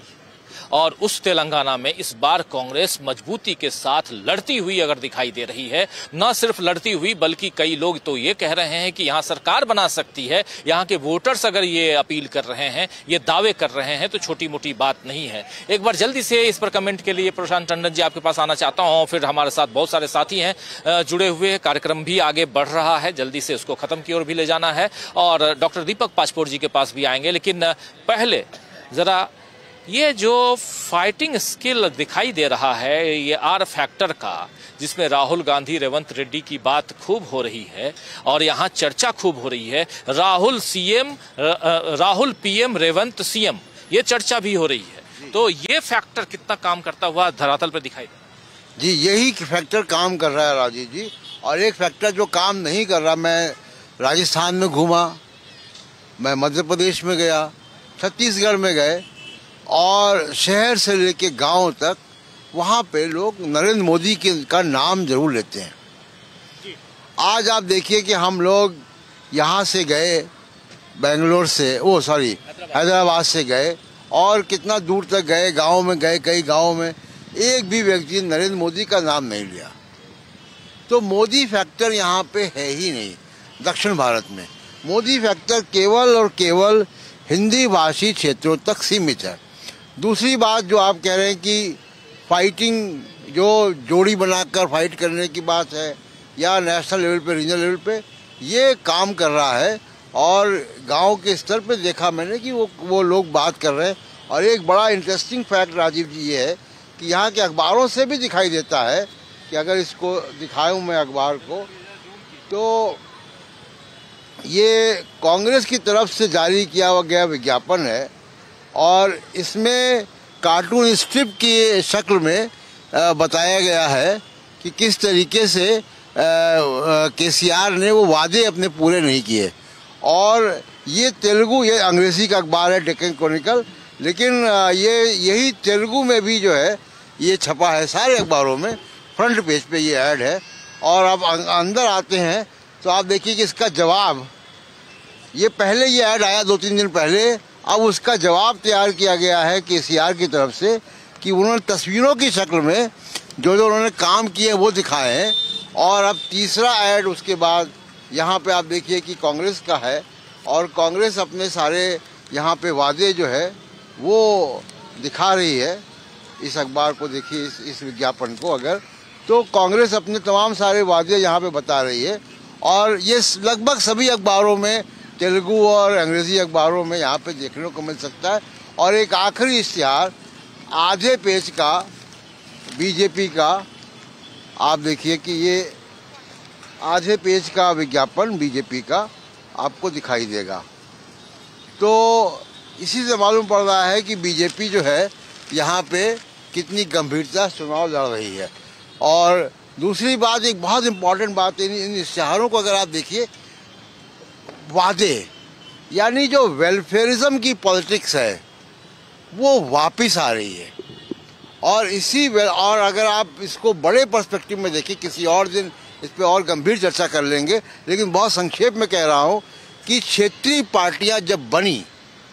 जिसमें तेलंगाना सबसे नया राज्य है और के और और बीआरएस और के टीआरएस ये नई पार्टियाँ हैं जो सत्ता में आई तमाम क्षेत्रीय पार्टियां चाहे वो तृणमूल कांग्रेस हो चाहे वो एनसीपी हो चाहे वो समाजवादी पार्टी हो ये कांग्रेस के ही विचारधारा के इर्द गिर्द ये पार्टियां बनी और कहीं ना कहीं उन्होंने कांग्रेस का ही वोट बैंक या प्रभाव छीना और उसी पे अपना वजूद बनाया एक भी एक भी पॉलिटिकल पार्टी क्षेत्रीय पॉलिटिकल पार्टी हिंदुत्व की आइडियोलॉजी पर नहीं बनी वो अकेले बीजेपी है और जिस अगर ये देखिए सबसे नया राज्य है और ये नई राजनीति शुरू करेगी अगर यहाँ से कांग्रेस जीतती है तो ये जो क्षेत्रीय पार्टियों का जो प्रभाव बढ़ा है उस पर उस पर भी इसका असर जाएगा और कांग्रेस का एक जो आ, प्रभाव छीना था मेरे ख्याल से वो वापस आना शुरुआत होगी उसकी ये बहुत महत्वपूर्ण बात आप कह रहे हैं क्षेत्रीय पार्टियों के प्रभाव का और अगर यहाँ बीआरएस को दबाकर कांग्रेस आगे बढ़ती है ऊपर उठती है तो इससे एक बात जो मैं जिस तरफ इशारा देख रहा हूं वो उत्तर प्रदेश के लिए भी है उत्तर भारत के लिए भी है वो दग, वो उधर पश्चिम बंगाल के लिए भी है और अगर आप अखिलेश यादव अखिलेश सिंह यादव के हाल फिलहाल के बयानों को देखें तो आपको लगेगा कि देखिए नेता तो बहुत दूर से अपने तरफ आती हुई चीज़ों को देख लेता है तो उन्होंने देख लिया है और इसीलिए उस तरीके के बयान पिछले हाल फिलहाल में अखिलेश यादव के आए हैं तो ये चुनौती अगर पेश करती है मजबूती के साथ तेलंगाना में केसीआर के सामने कांग्रेस पार्टी और अगर तीन तारीख को सरकार बनाने के लिए वो खड़ी दिखती है यानी कि रिजल्ट उसके लिए उसके पक्ष में आता है कांग्रेस पार्टी के पक्ष में तो आप ये तय मानिए कि एक रीजनल पार्टी यहाँ जो नेशनल बनने के लिए जिसने अपने नाम को टी से बदल के बी में कर दिया यानी तेलंगाना की जगह पे भारत कर दिया और उसके अलावा तब क्या बिहार से लेकर बंगाल तक उत्तर प्रदेश से लेकर तमाम अलग अलग राज्यों में जहां क्षेत्रीय दल हैं उन दलों के लिए भी गंभीर चिंतन का विषय नहीं है चाहे वो अरविंद केजरीवाल क्यों ना हों सबके लिए गंभीर चिंता का विषय आने वाले समय में हो सकता है ये चर्चा हम कर रहे हैं हमारे साथ कुछ वरिष्ठ साथी जुड़े हुए हैं उन सब सबके बीच भी आते जी जी कि मैं देख रहा हूँ कि अभी तक वो सफ़ेद लाइट थी विधानसभा और सचिवालय में अब वो रंग बिरंगी लाइट भी उन्होंने करना शुरू कर दिया है बिल्कुल तो लाइट सिर्फ सफ़ेद थी लेकिन अभी इस विधानसभा ये जो सेक्रेटेरिएट है इसमें देखिए कि रंग बिरंगे लाइट्स आपको हमारे पीछे और इस बिल्डिंग की शोभा बढ़ाते हुए कभी पिंक कलर रेड कलर तो कभी ग्रीन और ब्लू अलग अलग कलर में आप देख सकते हैं इस बिल्डिंग की शोभा बढ़ाते हुए और एक अच्छा विजुअल बनता है और ऐसे विजुअल के साथ अगर हम कार्यक्रम आप तक पेश कर रहे हैं तो हमारा भी हमको भी अच्छा लगता है कि चलिए कुछ तो दे पा रहे हैं यहाँ आए हैं तो हमारे तमाम साथी जो अलग अलग जगहों से देख रहे हैं उनके सामने कम से कम हैदराबाद की कुछ चीज़ों को कुछ अच्छी चीज़ों को आप तक पेश कर पाएँ बाकी राजनीति तो चल ही रही है आना चाहता हूं एक बार फिर से हमारे स्टूडियो में तमाम साथी जुड़े हुए हैं उन लोगों में से डॉक्टर दीपक पासपोर्ट जी के पास दीपक जी बहुत देर से सुन रहे हैं माफ़ी चाहूंगा थोड़ा कार्यक्रम में चर्चा ग्राउंड से ज़्यादा हो रही है होनी भी चाहिए लेकिन क्या कुछ आप समझ रहे हैं बगल में बैठे हुए हैं ज़्यादा दूर नहीं है तेलंगाना से छत्तीसगढ़ कैसे देख रहे हैं आप राजीव जी देखिए जो एक आर फैक्टर है राहुल फैक्टर जो है इसके ऊपर काफी बात हो चुकी है इसके बारे में बहुत ज्यादा नहीं कहूंगा लेकिन इसमें दो फैक्टर्स और काम कर रहे हैं एक तो जो है ओवैसी दिन ओवैसी का जो फैक्टर है अब लोगों के सामने जिस प्रकार से एक्सपोज हुआ है मतलब अब जनता के सामने ये बात सामने आने लगी है कि जो बहुत सारे राजनीतिक दल हैं वो उनके उनके परसेप्शन से अलग किस प्रकार से सांठगांठ करते हैं इसमें जो सबसे बड़ा मुद्दा उभर कर सामने आया है वो ओवैसी मतलब अपने एमआईएम और बीजेपी और बीआरएस के बीच की साठगांठ देखिए अब ये अब तक ये चीजें ढकी हुई होती थी बहुत ज्यादा कोई इसका एनालिसिस हो नहीं पाता था वहां पर जो है तेरह परसेंट मुस्लिम आबादी है अपने अपने तेलंगाना में और उसमें 45 सीटें ऐसी हैं जिस पर मुस्लिम वोट जो है वो निर्णायक साबित होते हैं तो आप हम तो अभी तक यही आश्चर्य करें कि केवल आठ या नौ सीटों पर क्यों ये कर रहे हैं चुनाव लड़ रहे हैं अगर उनको उनको अगर गेम चेंजर होना है या उनको किसी तरीके से अपनी वाकई एक बैठ बनानी थी तो कम से कम 45 सीटों पर तो उन्हें अपने खड़े करने थे अपने उम्मीदवार हम तो अभी तक उनतीस तीस सीटों की बात कर रहे थे जैसे राहुल लाल जी ने याद दिलाया कि उनतीस तीस सीटों पर लड़ना चाहिए था लेकिन मैं इस तो जो डाटा देख रहा हूँ 45 सीटें तो ऐसी हैं जहां पर सीधे सीधे मुस्लिम वोट जो है वो निर्णायक है अब ये बात जो है पूरे देश में जाएगी और और जहां जहां ये चुनाव लड़ने जाते हैं ओवैसी साहब वहां वहां वो एक्सपोज होगी और ये सवाल जो है उनका हमेशा पीछा करेगा कि आप यहाँ पर इतनी सीटों पे लड़ने आ गए हैं महाराष्ट्र में आ गए हैं उत्तर प्रदेश में आ गए हैं आपके अपने राज्य में वहां पर तो ये हाल है दूसरा जो बड़ा फैक्टर वहां पे काम कर रहा है वो कर्नाटक फैक्टर भी काम कर रहा है कर्नाटक का लगभग 75 प्रतिशत मंत्रिमंडल जो पिछले कुछ दिनों से वहीं पर डेरा डाले हुए हैं तेलंगाना में कांग्रेस ने उस राज्य को बहुत ज्यादा महत्व दिया हुआ है और हर हालत में चाहते हैं कि किसी प्रकार से वो राज्य भी अपने पास लिया जाए क्योंकि उसके बाद जो दक्षिण में जो है पूरी की पूरी कांग्रेस की तो एक ऐसी जबरदस्त पैठ हो जाएगी कि भारतीय जनता पार्टी के घुसने के लिए कोई रास्ता नहीं निकलेगा इसका और एक अच्छा फायदा ये हो रहा है जो आपने ये बताया कि विस्तार हो रहा है तो मुझे ऐसा लगता है कि अब वहां की क्षेत्रीय पार्टियों को अपने नजरिए का विस्तार भी करना पड़ेगा ठीक है आप अपनी क्षेत्रीय अस्मिता को संभालिए निश्चित रूप से संघवाद की एक अवधारणा के अंतर्गत राज्य भी मजबूत होने चाहिए लेकिन आपका दृष्टिकोण ऐसा व्यापक होना चाहिए कि आप सारे देश को भी आप ख्याल में रख के चले ये जो शूद्र किस्म की जो राजनीति थी ये लोग छोटे छोटे पार्टियों को बढ़ावा देना उनके साथ साठगांठ करना और ऐसी सांठगांठ कि ऊपर से बातें कुछ करना लेकिन अंदर ही अंदर से विलय होना जो आपको भारतीय जनता पार्टी वहां पर नहीं दिख रही तो वर्चुअली भारतीय जनता पार्टी ने अपने आप को वहां से विड्रॉ कर लिया है ये भी बात अब धीरे धीरे लोगों के सामने आ रही है और ये जो चीजें हैं वो कांग्रेस को अकेले बहुत मजबूती से बीआरएस का मुकाबला करने के लिए खड़ा कर रही है और लोग उसे मजबूत बना रहे हैं राजीव जी तो मुझे लगता है कि तीन तारीख को जो हम नतीजे देखेंगे हो सकता है कि वहां पर जो है कांग्रेस भी जो है वो जीत सकती है राजीव जी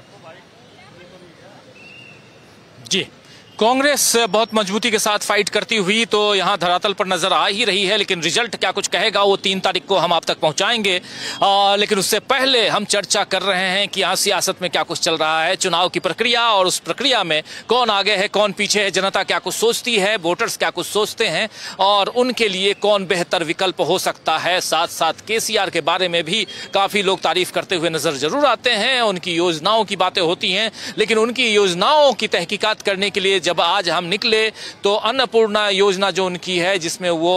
मुफ्त भोजन की बात जो चलती रही है वहाँ पर ताले लगे हुए थे अन्नपूर्णा योजना अब ताले क्यों लगे हुए हैं दरवाजे पे खिड़की दरवाजे सारे बंद थे क्यों बंद हैं ये आ, अपने को नहीं पता लेकिन इतना ज़रूर है कि आ, कुछ योजनाएं धरातल पर उस मजबूती के साथ काम नहीं कर रही हैं और इसीलिए हमारे साथी प्रशांत टंडन जी अभी आपको दिखा रहे थे कि कांग्रेस पार्टी जब विज्ञापन दे रही है तो वहां बता रही है कि देखिए कह करनी और कथनी में कितना फर्क है आना चाहता हूं सीधे सुनील शुक्ला जी आपके पास एक बार फिर से सुनील जी कैसे देखा जाए करनी और कथनी की बात और इसीलिए शायद बहुत गंभीरता के साथ कांग्रेस पार्टी जो है वो आ, चाहे कर्नाटक की बात हो या दूसरे राज्यों में भी जो कह रही है उन गारंटियों को तत्काल पूरा करने की कोशिश कर रही है वरना अगली अगली दफा इसके सामने भी सर्टिफिकेट लेकर दूसरी पार्टियां आ जाएंगी और कहेंगी कि आपने कहा कुछ और था किया नहीं इसलिए हम आपको वोट क्यों दें तो आप एक पहली बात की आप वादे कर रहे हैं वादों कुछ पर अमल करने की कोशिश आप कीजिए अगर नहीं करते हैं तो फिर आपको अगली दफा जनता मजा चखाएगी कैसे देखा जाए इसको सुनील शुक्ला जी अपने वायदों को पूरा करने की जो राजनीतिक एक प्रवृत्ति कांग्रेस ने पैदा की है वही उसकी ताकत है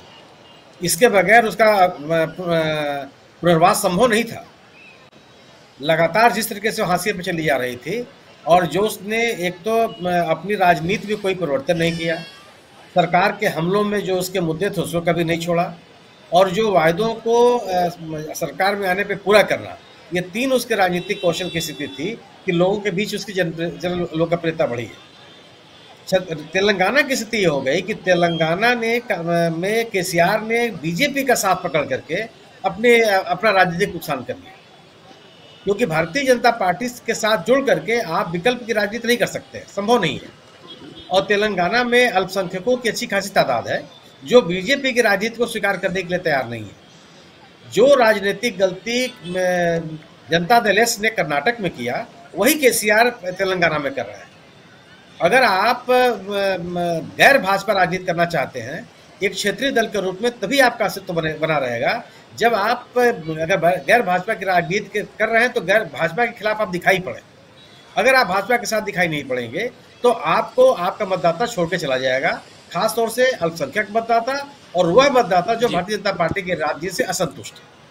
और ऐसे में कांग्रेस विकल्प के रूप में उनको सबको नजर आएगी क्योंकि जब 2014 से लेकर के अब तक भारत कांग्रेस ने भारतीय जनता पार्टी के खिलाफ अपने रवैये में कोई नरमी नहीं लाई उसने ऐसा नहीं हुआ कि उसके खिलाफ ईडी e सीबीआई और इनके उनके इनकम टैक्स के छापों के बाद इनके नेताओं की बातचीत या आक्रामकता में कोई कमी आ गई वो उतने ही आक्रामक है उतने ही तेजी के साथ राजनीति कर रहे हैं और उतनी तेजी के साथ लोगों के बीच में जा रहे हैं तो बीजेपी का जो विकल्प तलाश रहा है उसके सामने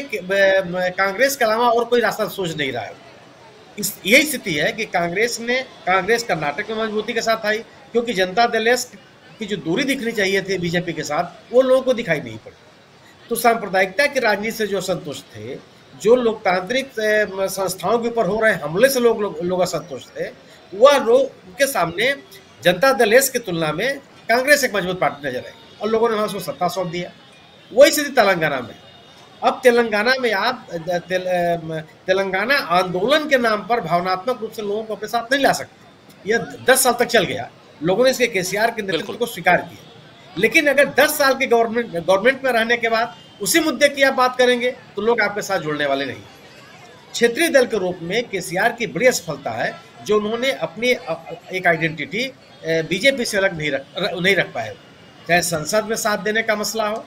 चुनाव में साथ देने का मसला हो या विभिन्न राष्ट्रीय मुद्दों पर भारतीय जनता पार्टी से एक संघर्ष करने के एक राजनीतिक ताकत के रूप में उभरने का का मसला रहा हो इन तीनों मुद्दों पर बीआरएस की असफलता हाथ होगी और गैर भाजपा जो मतदाता है वो कांग्रेस की ओर चलता चला गया और कांग्रेस ने अपने राजनीतिक एजेंडे को साफ कर दिया कि हम के के खिलाफ हैं हम सांप्रदायिकता के खिलाफ हैं चुनावी किए गए वादों को पूरा न करने का जो आरोप है इस सरकार के खिलाफ उसके विरुद्ध हम हैं और जनता से जुड़े हुए जो सवाल हैं उनके समाधान के लिए हमारा एक राजनीतिक संकल्प है हम लोगों को सामाजिक सुरक्षा भी देना चाहते हैं हम बेरोजगारी के मसले पर भी आपके साथ खड़े हैं और महंगाई से त्रस्त लोगों को गैस का सिलेंडर हो चाहे आर्थिक सहायता हो वो भी हम देने के लिए तैयार हैं या जो लोग स्वरोजगार शुरू करना चाहते हैं उनको भी ब्याज रहित ऋण देने के लिए तैयार हैं तो एक इस तरह का एक सामाजिक सुरक्षा के साथ साथ जो सैद्धांतिक मुद्दे थे उन सभी को लेकर के कांग्रेस ने आगे बढ़ने की कोशिश की और यह हालत ही हो गई कि एक क्षेत्रीय पार्टी के लिए भी बड़ी चुनौती बनकर सामने आ गई देश में कहीं अब तक ये स्थिति नहीं बनी थी हालांकि ये प्रवृत्ति शुरू हो गई जब मुर्शिदाबाद में के उपचुनाव में कांग्रेस ने टीएमसी को हराया तो ये लगने लगा कि भारतीय जनता पार्टी से असंतुष्ट लोग कांग्रेस की तरफ देखने लगे हैं जब कस्बा विधानसभा के उपचुनाव में महाराष्ट्र में बीजेपी के उम्मीदवार को हराया कांग्रेस ने तो लगने लगा कि बीजेपी के रूप में एक स्वाभाविक सी चॉइस कांग्रेस बन रही है और धीरे धीरे हिमाचल के चुनाव में कर्नाटक के चुनाव में इन इन स्थितियों में एक कांग्रेस एक ऐसे राजनीतिक दल के रूप में इसकी स्वीकृति बढ़ी है जो भारतीय जनता पार्टी से असंतुष्ट हैं या भारतीय जनता पार्टी के विकल्प के रूप में एक राजनीति देखना चाहते हैं और ये जो विश्वसनीयता कांग्रेस ने बनाई है अपने मुद्दों के आधार पर सबसे बड़ा सवाल यही है कि वो मुद्दों के आधार पर अपनी राजनीति उसने बढ़ाया यही वजह है कि राजस्थान में भी कोई एंटी इनकम्बेंसी उस तरह से सत्ता पर नहीं दिखाई पड़ी जो कर्नाटक में बीजेपी की सरकार के खिलाफ दिख रही थी आज मजबूती के साथ चुनाव लड़ी और सत्ता के दावेदार है छत्तीसगढ़ में कोई बात ही नहीं कर रहा है कि सरकार जा भी रही है सहारा आदमी कर रहा है कि कांग्रेस वहां रही है मेघालय मिजोरम में बीजेपी प्रचार तक नहीं कर पाई उसके पास उम्मीदवार तक नहीं मिले चालीस सीटों के लिए और तेलंगाना में जो लोकसभा के चुनाव के दौरान चार सीटें जीतने के बाद एक ताकत बनकर के उभरी थी लग रहा था कि एक बड़ी ताकत होगी बीजेपी तेलंगाना में वह अपने राजनीति के कारण और बीआरएस के, के के साथ उसके तालमेल के कारण वो अपनी उसने अपनी राजनीतिक विश्वसनीयता खोई तो बीजेपी और बीआरएस दोनों एक दूसरे के साथ आकर के एक दूसरे का नुकसान कर गए और कांग्रेस को ताकत दे गए और आज हालत हो गई कि जो सर्वेक्षण करता है वो यह कहने लगे हैं कि कांग्रेस वहां सत्ता में आ सकती जी बिल्कुल जी बिल्कुल बिल्कुल सही आप कह रहे हैं और यही हम भी ग्राउंड पे देख भी रहे हैं कि कांग्रेस शायद सत्ता पे काबिज हो जाए लेकिन ये तो तीन तारीख को पता चलेगा जो जनता से हम लोग बातचीत करते हैं जो विचार उत्पन्न होते हैं उन विचारों को आप तक हम पहुंचाते हैं आना चाहता हूं सीधा आप जल्दी जल्दी थोड़ा सा शॉर्ट कमेंट भी चाहूँगा आप लोगों से डॉक्टर प्रकाश हिंदुस्तानी जी आपके पास आना चाहता हूँ अब यहाँ से जबकि कल आखिरी दिन है चुनाव प्रचार का और कर्नाटक समाप्त माफ़ करें तेलंगाना जो है वो उसका चुनाव प्रचार समाप्त हो जाएगा कैसे देखा जाए देश की राजनीति को कैसे देखा जाए किस दिशा में जाते हुए देखा जाए क्योंकि इसके बाद अब 2024 की तैयारी होगी जिसमें बहुत कुछ अभी बहुत सारे ट्विस्ट बाकी हैं आप याद कीजिए 2019 का चुनाव पहले बातें कुछ और होती थीं लेकिन अचानक पुलवामा हो जाता है कहानी बदल जाती है अब यहां से 2024 की तरफ बढ़ते हुए क्या कुछ आप देखते हैं डॉक्टर प्रकाश हिंदुस्तानी जी राजीव जी मुझे लगता है कि कांग्रेस पार्टी ने कर्नाटक के चुनाव के वक्त तेलंगाना की रणनीति बना ली थी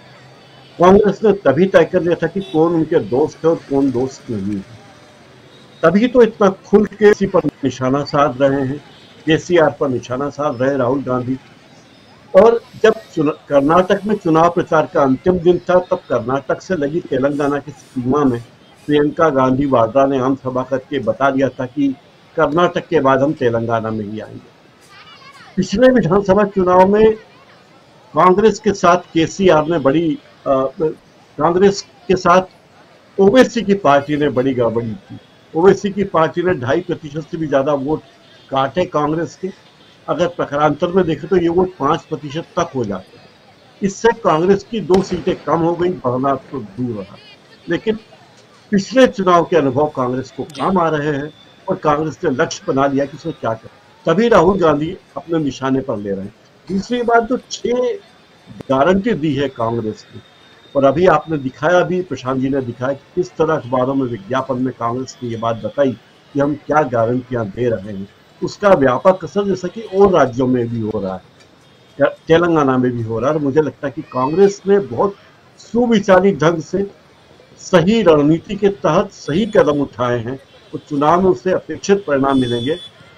इसी से के घबराए हुए हैं के के सामने अब बीजेपी जो इसके पास जाना चाहते थे मोदी भी उन्हें के को कोस रहे हैं राहुल गांधी निशाना बना मुझे लगता है कि अब कांग्रेस ज्यादा करीब है सत्ता के बजाय बीजेपी राजनीति जी कांग्रेस ज़्यादा करीब है बजाय बीजेपी के सत्ता आ, मतलब बीजेपी जो है वो ऐसे भी थोड़ा सा आउट होती हुई दिखाई दे रही है तेलंगाना में तेलंगाना की ही बात कर रहे हैं और अगले आ, कुछ दिनों तक तेलंगाना ही नहीं बल्कि अब फिर से पांचों राज्यों की बात होगी जब तीस तारीख को हम शाम पाँच बजे से आप तक पेश करेंगे एग्जिट पोल एग्जिट पोल के नतीजे और ओरिजिनल नतीजे इन दोनों के बीच मात्र तीन दिनों का अंतर होगा यानी कि तीन दिसंबर को ओरिजिनल नतीजे जो होंगे रिजल्ट सामने आएंगे उस दिन सुबह छः बजे से हम आपके बीच मौजूद रहेंगे इस वक्त मौजूद हैं हम हैदराबाद में और पीछे आप देख रहे हैं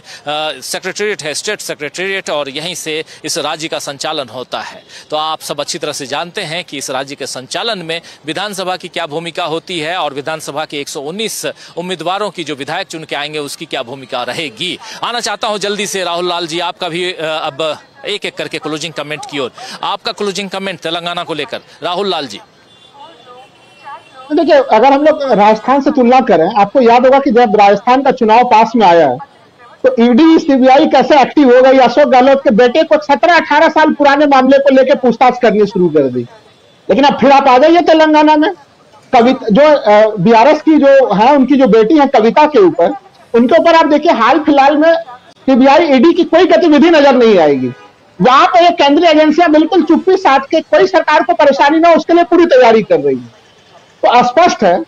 ओवैसी का प्रकरण तो हम लोगों ने देख ही लिया लेकिन बीजेपी की जो केंद्रीय संस्था है जांच एजेंसियां हैं उन्होंने जिस तरह से चुनाव के समय में चुप्पी मारी है वहां पे वो भी दिखा रहा है कि इनका गठबंधन बीजेपी के साथ किस तरह है बीजेपी का प्रयास केवल ये था कि वो कुछ वोट वो ले सके अपने तरफ अपने आप को कुछ मजबूत करें और कांग्रेस को नुकसान पहुंचा सके और बीजेपी अभी भी जो प्रधानमंत्री की रैली चल रही है हर हर कोई यही चीज कह रहा है कि ये स्थितियां केवल और केवल कांग्रेस को कमजोर करने के लिए तो ये जो उत्तर भारत में स्थिति बनी हुई थी ओवैसी को लेके या फिर बीआरएस को लेके अब वो स्थितियां तेलंगाना तक में वो खुल चुकी है कि आखिर जमीनी स्थिति क्या है तमाम जो रिपोर्ट आप लोग जो ग्राउंड रिपोर्ट दे रहे हैं और जो तमाम दूसरे पत्रकार मित्र गए हुए हैं ग्राउंड पे हर किसी का यही कहना है कि तेलंगाना की स्थिति इस चुनाव में पांचों राज्यों में सबसे अलग है जैसे जैसे प्रत्येक दिन बीतता है कांग्रेस की लहर में वृद्धि हो जाती है यानी अगला दिन यानी आज आज कांग्रेस की जो लहर आपको दिख रही है अगले दिन उस कांग्रेस के लहर में और वृद्धि हो जाएगी और यह क्रम वहां पर लगातार जारी रहेगी तो कांग्रेस ने अपने आप को जिस तरह से मजबूत किया है वो बिल्कुल एक शानदार चीज है उन्होंने साबित कर दिया है कि दक्षिण भारत में और वो क्षेत्रीय पार्टी से देखिए दक्षिण भारत की क्षेत्रीय पार्टियां तो और भी मजबूत मानी जाती है अगर वो उन्हें शिकस्त दे सकती है तो देश भर के दूसरे हिस्सों और भारतीय जनता पार्टी के लिए तो कितने डरने की बात है वो भारतीय जनता पार्टी को डराने के लिए और समझाने के लिए काफी ज्यादा है कि देश अब कांग्रेस के गारंटियों पर विश्वास करता है भारतीय जनता पार्टी के गारंटी पर तो पहले भी कोई विश्वास नहीं कर रहा था लेकिन तेलंगाना में भी जिस तरह से बीआरएस ने इतनी सारी गारंटी दे रखी है उन्होंने पहले कई काम पूरे नहीं किए तो मैं मानता हूं कि कांग्रेस पार्टी ने जो डिलीवरी दिया कर्नाटक के मामले में जो डिलीवरी उन्होंने छत्तीसगढ़ में दिया और जो डिलीवरी उन्होंने राजस्थान में दी है उस कारण से कांग्रेस की छवि काफी मजबूत बनी है और अब उसको लाभ न केवल इन चुनाव में पांच विधानसभा चुनाव में मिलने वाला है राजीव जी इसका काफी व्यापक लाभ कांग्रेस को 2024 के लोकसभा चुनाव में भी मिलने वाला है और कांग्रेस ने स्पष्ट कर दिया है कि वह केवल और केवल लोक कल्याणकारी राज्य की अवधारणा विश्वास करती है वह किसी भी प्रकार के सांप्रदायिक तनाव के जैसे मामलों के ऊपर कम्युनल पॉलिटिक्स को सबसे मुंहतोड़ जवाब देने वाली अगर कोई पार्टी है इस देश में वो कांग्रेस है जो संविधान के सुरक्षा की पूरी जिम्मेवारी उठा रही है और वो हम लोगों ने देखा है कि राहुल गांधी हर मामले पे बिना डरे बिना झूठे हर हमेशा बोलते हुए रहे तो ये स्थितियां तेलंगाना की जनता भी समझ रही है जी जी बिल्कुल तेलंगाना की जनता भी लोक कल्याणकारी सरकार चाहती है और ऐसी सरकार देने वाली पार्टी को चुन करके लाने की कोशिश में है और जैसा कह रहे थे अभी राहुल लाल जी की हो ये रहा है कि डे बाय डे जैसे जैसे दिन आगे बढ़ता जा रहा है चुनाव की घड़ी और मतदान की घड़ी जो है वो नज़दीक आ रही है कांग्रेस के लहर में वृद्धि होती जा रही है प्रशांत टंडन जी आपके पास आऊँ क्लोजिंग कमेंट के लिए लेकिन आपसे पहले ज़रा आना चाहता हूँ विजय शंकर सिंह साहब आपके पास आपका क्लोजिंग कमेंट समझना चाहता हूँ सुनना चाहता हूँ ये जो लहर कांग्रेस की तरफ बढ़ती हुई दिखाई दे रही है उस पर आपका क्या कहना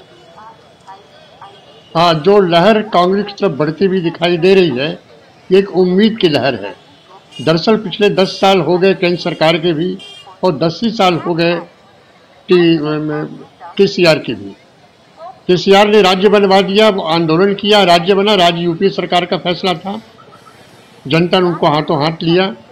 और उनकी सरकार दस साल चला दी लेकिन इस दस साल में उन्होंने जनता को दिया क्या दूसरी बात अगर भारतीय जनता पार्टी की करें तो भारतीय जनता पार्टी के पास सांप्रदायिकता और ध्रुवीकरण के अलावा और कोई मुद्दा नहीं है कांग्रेस की सबसे बड़ी उपलब्धि यही है कि कांग्रेस ने इन पाँचों राज्यों के चुनाव में पाँचों राज्यों को चुनाव को भारतीय जनता पार्टी के एजेंडे पर जाने नहीं दिया और ये उसकी सबसे बड़ी खूबी है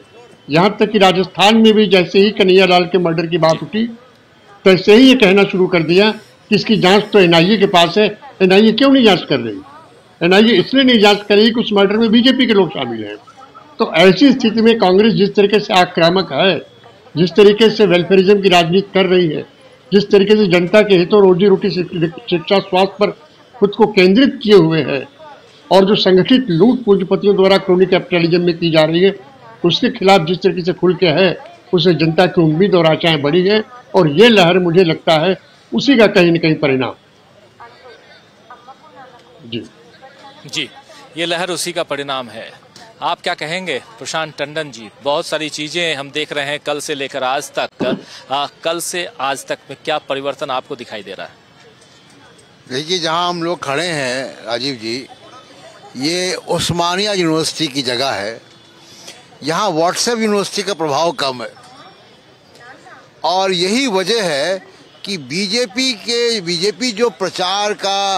बक्सा यहाँ पर लेकर आई उस प्रचार के बक्से में हिंदू मुसलमान सांप्रदायिकता नफरत वो पैकेज लेकर आई यहाँ पे जो पैकेज राजस्थान में लेकर गई जो उत्तर प्रदेश में बड़ी आसानी से चल सकता है आप देखिए कि योगी आदित्यनाथ की यहाँ रैलियाँ हुई वो रैली में बुलडोज़र लेके ले पहुँच गए यहाँ ये सब नहीं चलता है ये उत्तर प्रदेश में चल जाता है वह यहाँ पे ये सब नहीं चलता है और उत्तर प्रदेश के लोग उसको देख के बड़ा एक्साइटेड भी हो जाते हैं यहाँ पे हमने देखा कि कुछ नहीं यही वजह है कि यहाँ पे बीजेपी दिखाई नहीं देती कहीं भी क्योंकि समाज में नफरत नहीं है समाज यहाँ का बेहतर है उन्नत है और यही वजह है तो आप देखिएगा कि मेरा जो अंदाज़ है कि बीजेपी के पास लोकसभा की चार सीटें हैं पता नहीं विधानसभा में भी चार पहुंच पाती है कि नहीं ये देखना होगा तीन तारीख को बिल्कुल तीन तारीख को हम बताएंगे देखेंगे कि आखिर किसके पास कितनी सीटें आती हैं लेकिन लोकसभा की चार सीटें रखने वाली बीजेपी को चार सीटें मिल पाती हैं कि नहीं विधानसभा में ये भी बड़ा सवाल है हालांकि 2018 के विधानसभा में बीजेपी मात्र एक सीट जीत पाई थी और अब आगे क्या कुछ होता है वो तीन तारीख को पता चलेगा इस कार्यक्रम को समाप्त करने से पहले बहुत बहुत शुक्रिया अदा करना चाहता हूँ हमारे तमाम साथियों को जो हमारे साथ जुड़े रहे सुनील शुक्ला जी डॉक्टर प्रकाश हिंदुस्तानी जी हमारे साथ जुड़े रहे विजय शंकर सिंह साहब हमारे साथ जुड़े रहे राहुल राहुल लाल जी आ, हमारे साथ जुड़े रहे डॉक्टर दीपक पासपोर्ट जी अमलेंदु उपाध्याय जी और हमारे साथी यहाँ ग्राउंड पे प्रशांत टंडन जी आप सबका बहुत बहुत शुक्रिया बहुत धन्यवाद और बहुत शुक्रिया बहुत धन्यवाद आप तमाम साथियों दर्शकों और हमारे शुभचिंतक जो हमारे इस कार्यक्रम को देखते ही नहीं बल्कि सराहते हैं और इसको ज़्यादा से ज़्यादा लोगों तक पहुँचाते हैं आप सबका बहुत बहुत शुक्रिया और जब भी हम ग्राउंड पे होते हैं बहुत सारे साथी मिल जाते हैं जो कहीं ना कहीं हमें देखते हैं सुनते हैं और यहाँ भी अगर मुलाकात हो जाती है तो बहुत अच्छा लगता है तो आप सबका बहुत बहुत धन्यवाद अदा करता हूँ कल शाम फिर न्यूज़ पॉइंट लेकर हम ऐसे ही हाजिर होंगे और आज से लेकर कल तक में क्या डिफरेंस आता है कल किसी और दिशा में जाएंगे लेकिन शाम को लौटकर हैदराबाद आएंगे और हैदराबाद में पूरे आउटर हैदराबाद यानी अलग अलग गांव शहरों कस्बों में क्या कुछ चल रहा है वो आप तक हम पहुंचाएंगे तेलंगाना बहुत इम्पॉर्टेंट है हम मौजूद हैं तेलंगाना में हमारी नज़रों से तेलंगाना के इस चुनाव का लुत्फ उठाइए मज़े लीजिए और तीन तारीख को रिजल्ट देखिए बहुत बहुत शुक्रिया बहुत धन्यवाद आप लोगों का नमस्कार गुड नाइट शुभ रात्रि शब्बा खैर